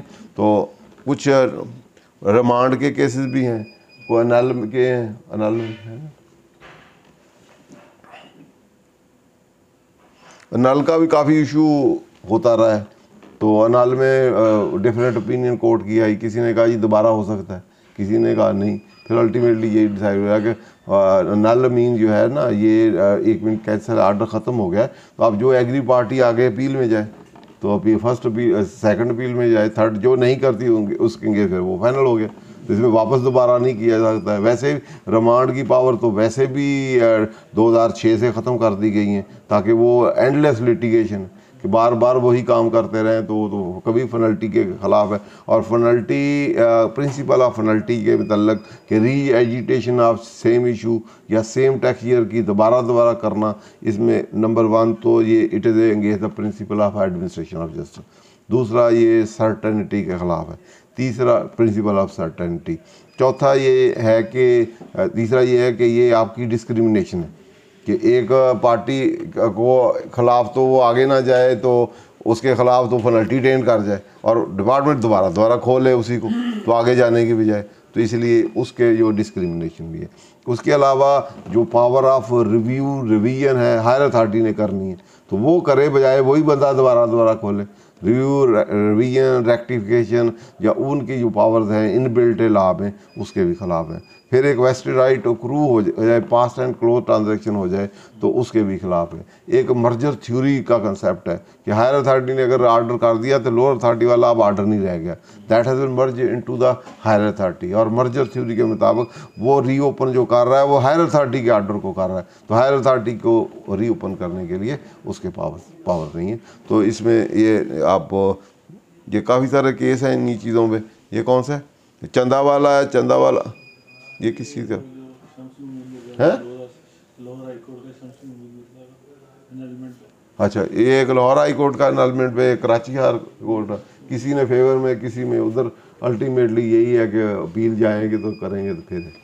ठीक है आगे फिर। वर्ड नल क्या है रिमांड क्या है? तो रिमांड और नल फिर तो कोई फ़र्क ना रह गया। रिमांड कपल्ड विद डिडक्शन हो जाए सेटिसाइड भी एक अनलमेंट है unless until is coupled with the direction coupled हो जाए तो रिमांड बन जाए। रिमांड भी दोबारा करना। क्लियर जी? और रिमांड जो है, इसके भी प्रिंसिपल हैं कि इसको रूटीन में नहीं करना चाहिए।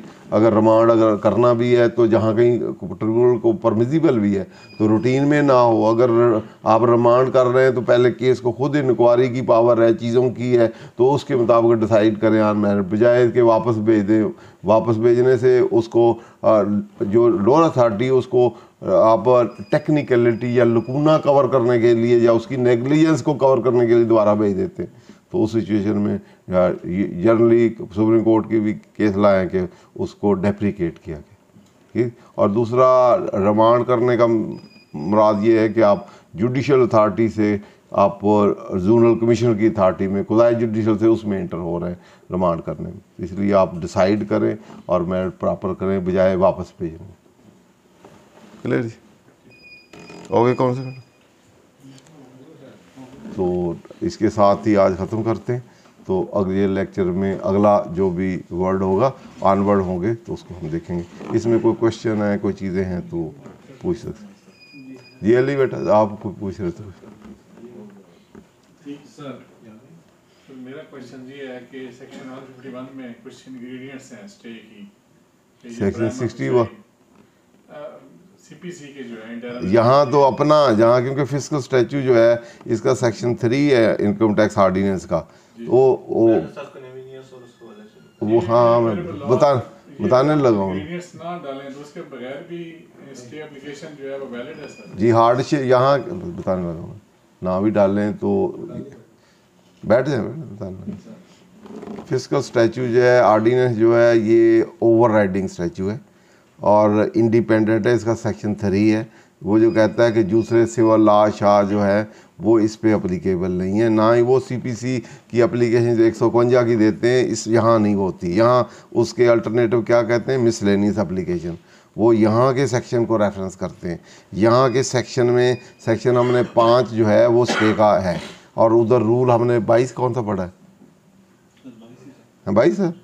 हाँ बाईस रूल बाईस अट्ठाईस स्टे की, स्टे, इधर सब सेक्शन फाइव है, उसमें सिर्फ़ एक ही कंडीशन है कि हार्डशिप लीगल हार्डशिप या वो आपकी हार्डशिप होनी चाहिए तो वो उसकी सेटिस्फेक्शन हो जाए तो वो स्टे कर देगा। क्लियर जी? इसमें कन्वीनियंस जो है या आर्गोमेंटेबल केस है बैलेंस ऑफ़ कन्वीनियंस है तो उस ना भी हो तो कोई फ़र्क नहीं पड़ता। ये वहाँ अगर आप सिविल कोर्ट प्रोसीजर में या क्रिमिनल कोर्ट प्रोसीजर में वहाँ स्टेज से या कहें तो वहाँ के लिए ये बहुत ज़रूरी हाई कोर्ट में हाई कोर्ट में वो वो क्या होगी? अप्लीकेशन का नाम क्या है? नहीं अप्लीकेशन क्या होती? उसका नाम मिसलेन वहाँ मिसलेनियस अप्लीकेशन तो नहीं कहते कहते हैं। वहाँ सी एम कहते हैं। इधर एम ए कहते हैं। सी एम क्या है? सिविल मिसलेनियस वही ना पहले C M C M C M है वहाँ वहाँ नाम भी आर टू अप्लीकेशन का नाम ही अलग है। सिविल मिसलेनियस है। वो सिविल कोर्ट प्रोसीजर के जो रूल्स हैं उसके मुताबिक है। वो फिर रेलिवेंट रूल क्या है? रेलिवेंट रूल क्या है? वन फिफ्टी वन सेक्शन क्या है? वन फिफ्टी वन यहाँ वो वन फिफ्टी वन की तो नहीं आप देते। कस्टम ट्रिब्यूनल में हो तो वहाँ वहाँ वहाँ सी एम देना पड़ती। कस्टम ट्रिब्यूनल जो है वहाँ आप सी एम देंगे। यहाँ क्या है यहाँ सी एम नहीं होती।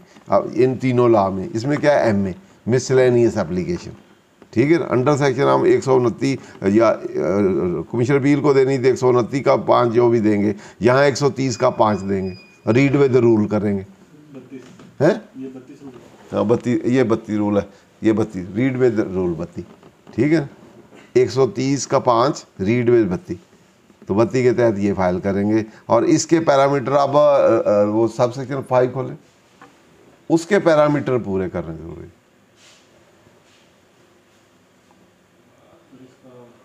वो भी लिख दें तो एडिशनल ठीक है कि आर्गोमेंटेबल केस है balance of convenience in your favour है गुड आर्गुएबल केस है, वो भी कोई इसमें नहीं है। अदरवाइज़ नहीं अलाउ करेंगे तो आप इरेबल लॉस इंजरी होगी ये वो, आप मेरिट वाले चीज़ें हैं, वो भी लिखनी चाहिए।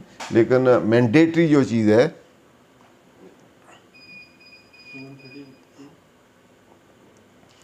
one thirty one one thirty one का फाइव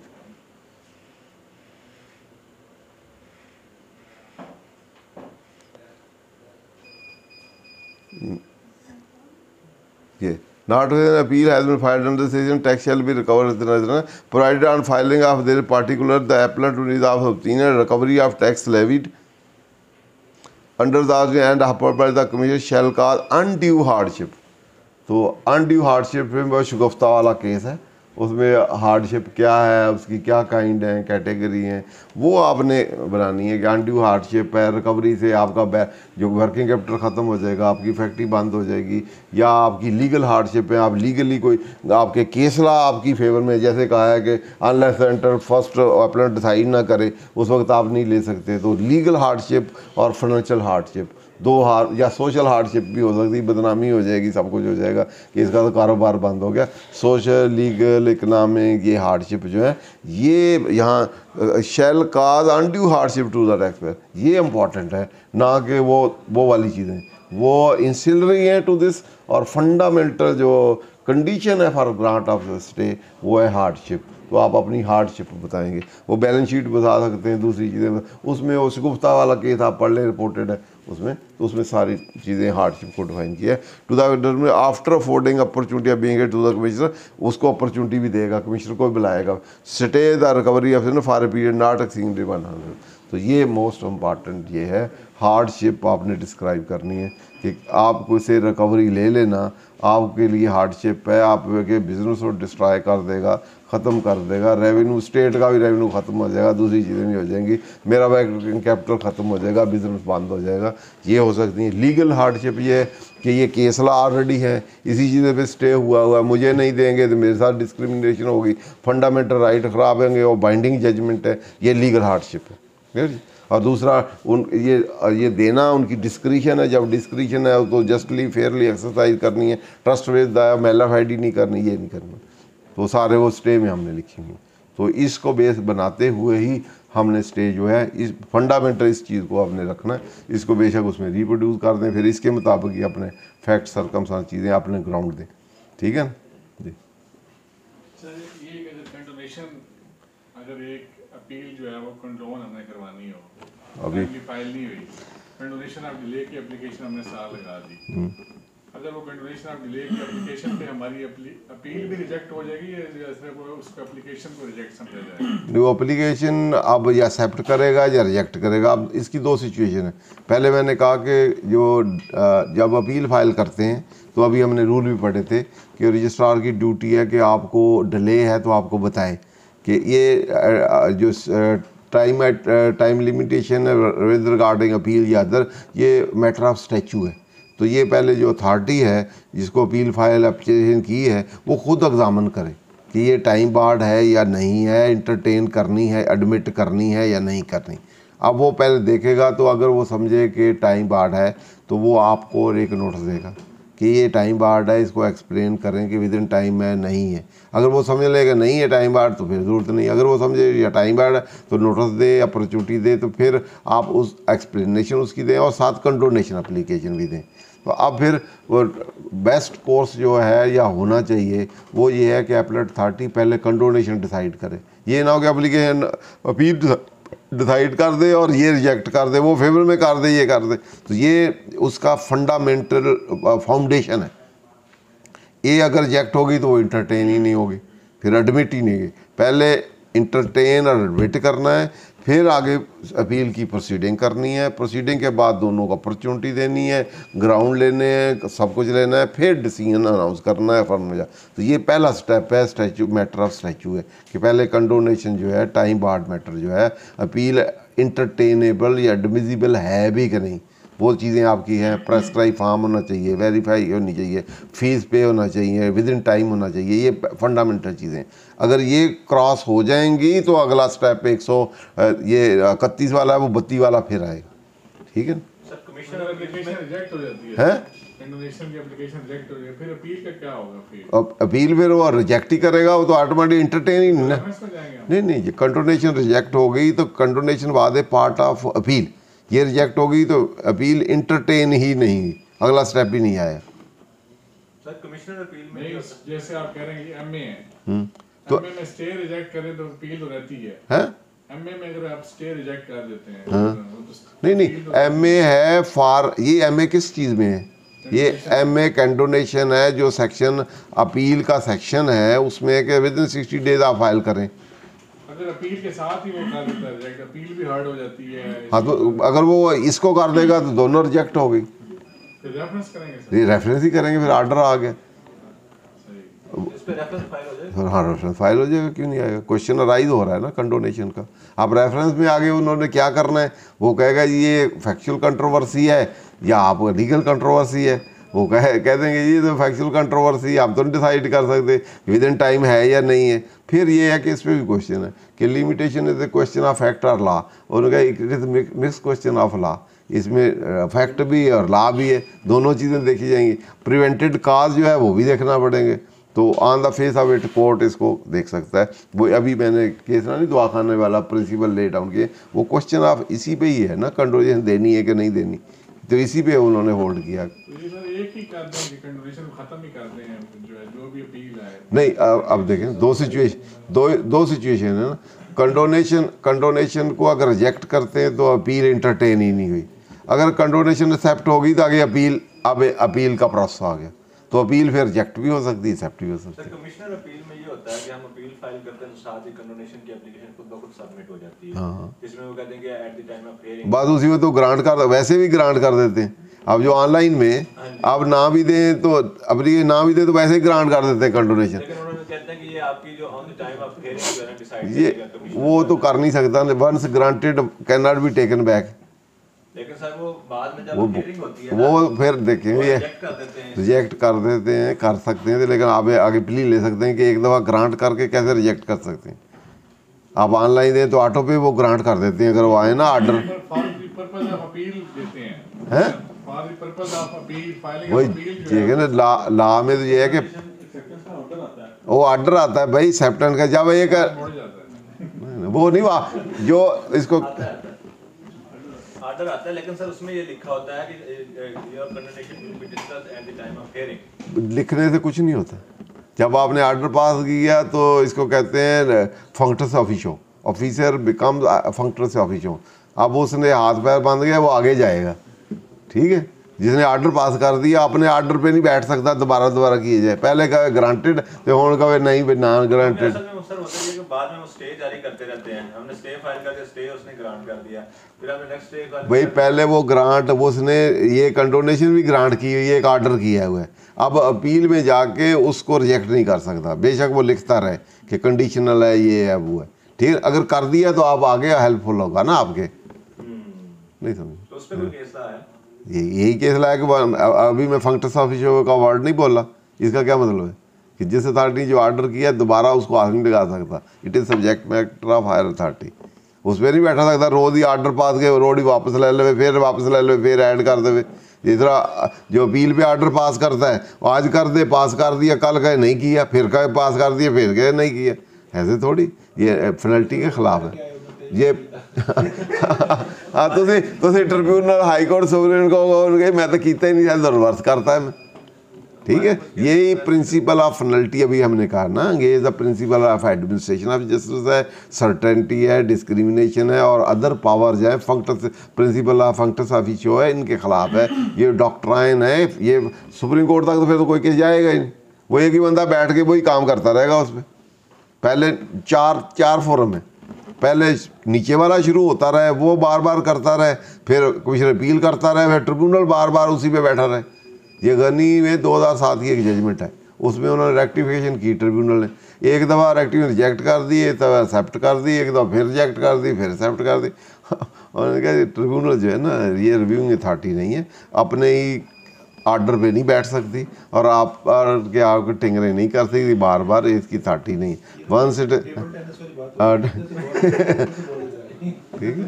तो वो फिर नहीं किया जाता वो वो लिमिटेड स्कोप होता है रेक्टिफिकेशन का और वो उसका स्कोप को नहीं बढ़ाया जाता था। एपरेंट मिस्टेक ऑन रिकॉर्ड है तो फिर वो उसको कर टू दैट एक्सटेंट वो उसको कर सकते हैं। ये नहीं कि आज है आज नहीं है आज है या नहीं। आज कंडोनेशन ग्रांटेड कल को कोई नॉट ग्रांटेड इधर तो लॉ में तो क्या है? कि उसने देखना है कि सफिशेंट काज देखने तो ग्रांट कर देनी। ग्रांट कर देनी तो अपील शुरू हो जानी। तो जब वंस उन्हें ग्रांट कर दी अपील का प्रोसेस वो ये फ़र्स्ट स्टेप है उसके बाद अपील प्रोसीडिंग स्टार्ट होनी। ये क्रॉस करेंगे तो अगला स्टेप आएगा ये क्रॉस कर दिया तो अगला स्टेप आएगा ये तो खत्म हो गया। अगला स्टेप भी सर उसने दे दिया हमें स्टे भी दे दिया सारा कुछ दे दिया। भाई वो- उसके बाद उसने अपील में जाके जब हियरिंग फिक्स हुई उसने कहा जी रिजेक्ट है वो फिर नहीं कर। देखिए ना, वो करेंगे तो यही तो आपको फ़ायदा होगा ना, यही तो आप चैलेंज करेंगे गलत किया है। आर्डर को आप कैसे चैलेंज करेंगे उसने सारा कुछ सही किया हो तो फिर आप आगे कैसे जाएँगे? ये स्टेप लॉ में तो ये लिखा हुआ है ना, कि जो एडमिट करनी है, कैसे एडमिट करनी?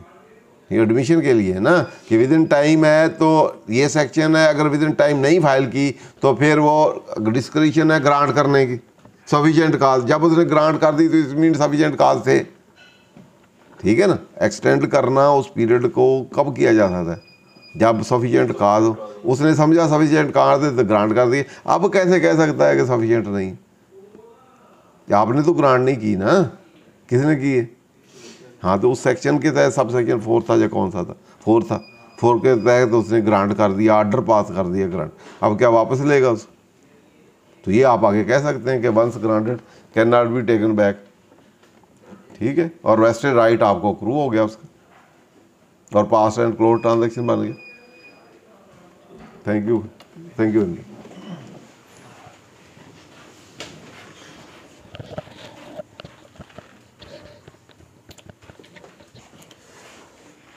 आज हमने एपलेट ट्रिब्यूनल इनलैंड रेवेन्यू के हवाले से उसके कॉन्स्टिट्यूशन उसकी इम्प्लीकेशंस और उसके रूल्स एंड रेगुलेशंस के हवाले से पढ़ा और फिर उसमें अपील फाइलिंग के हवाले से और उसकी स्टे की एप्लीकेशन फाइलिंग के हवाले से टोटल और कंडोनेशन एप्लीकेशन के हवाले से टोटल डिस्कस किया है।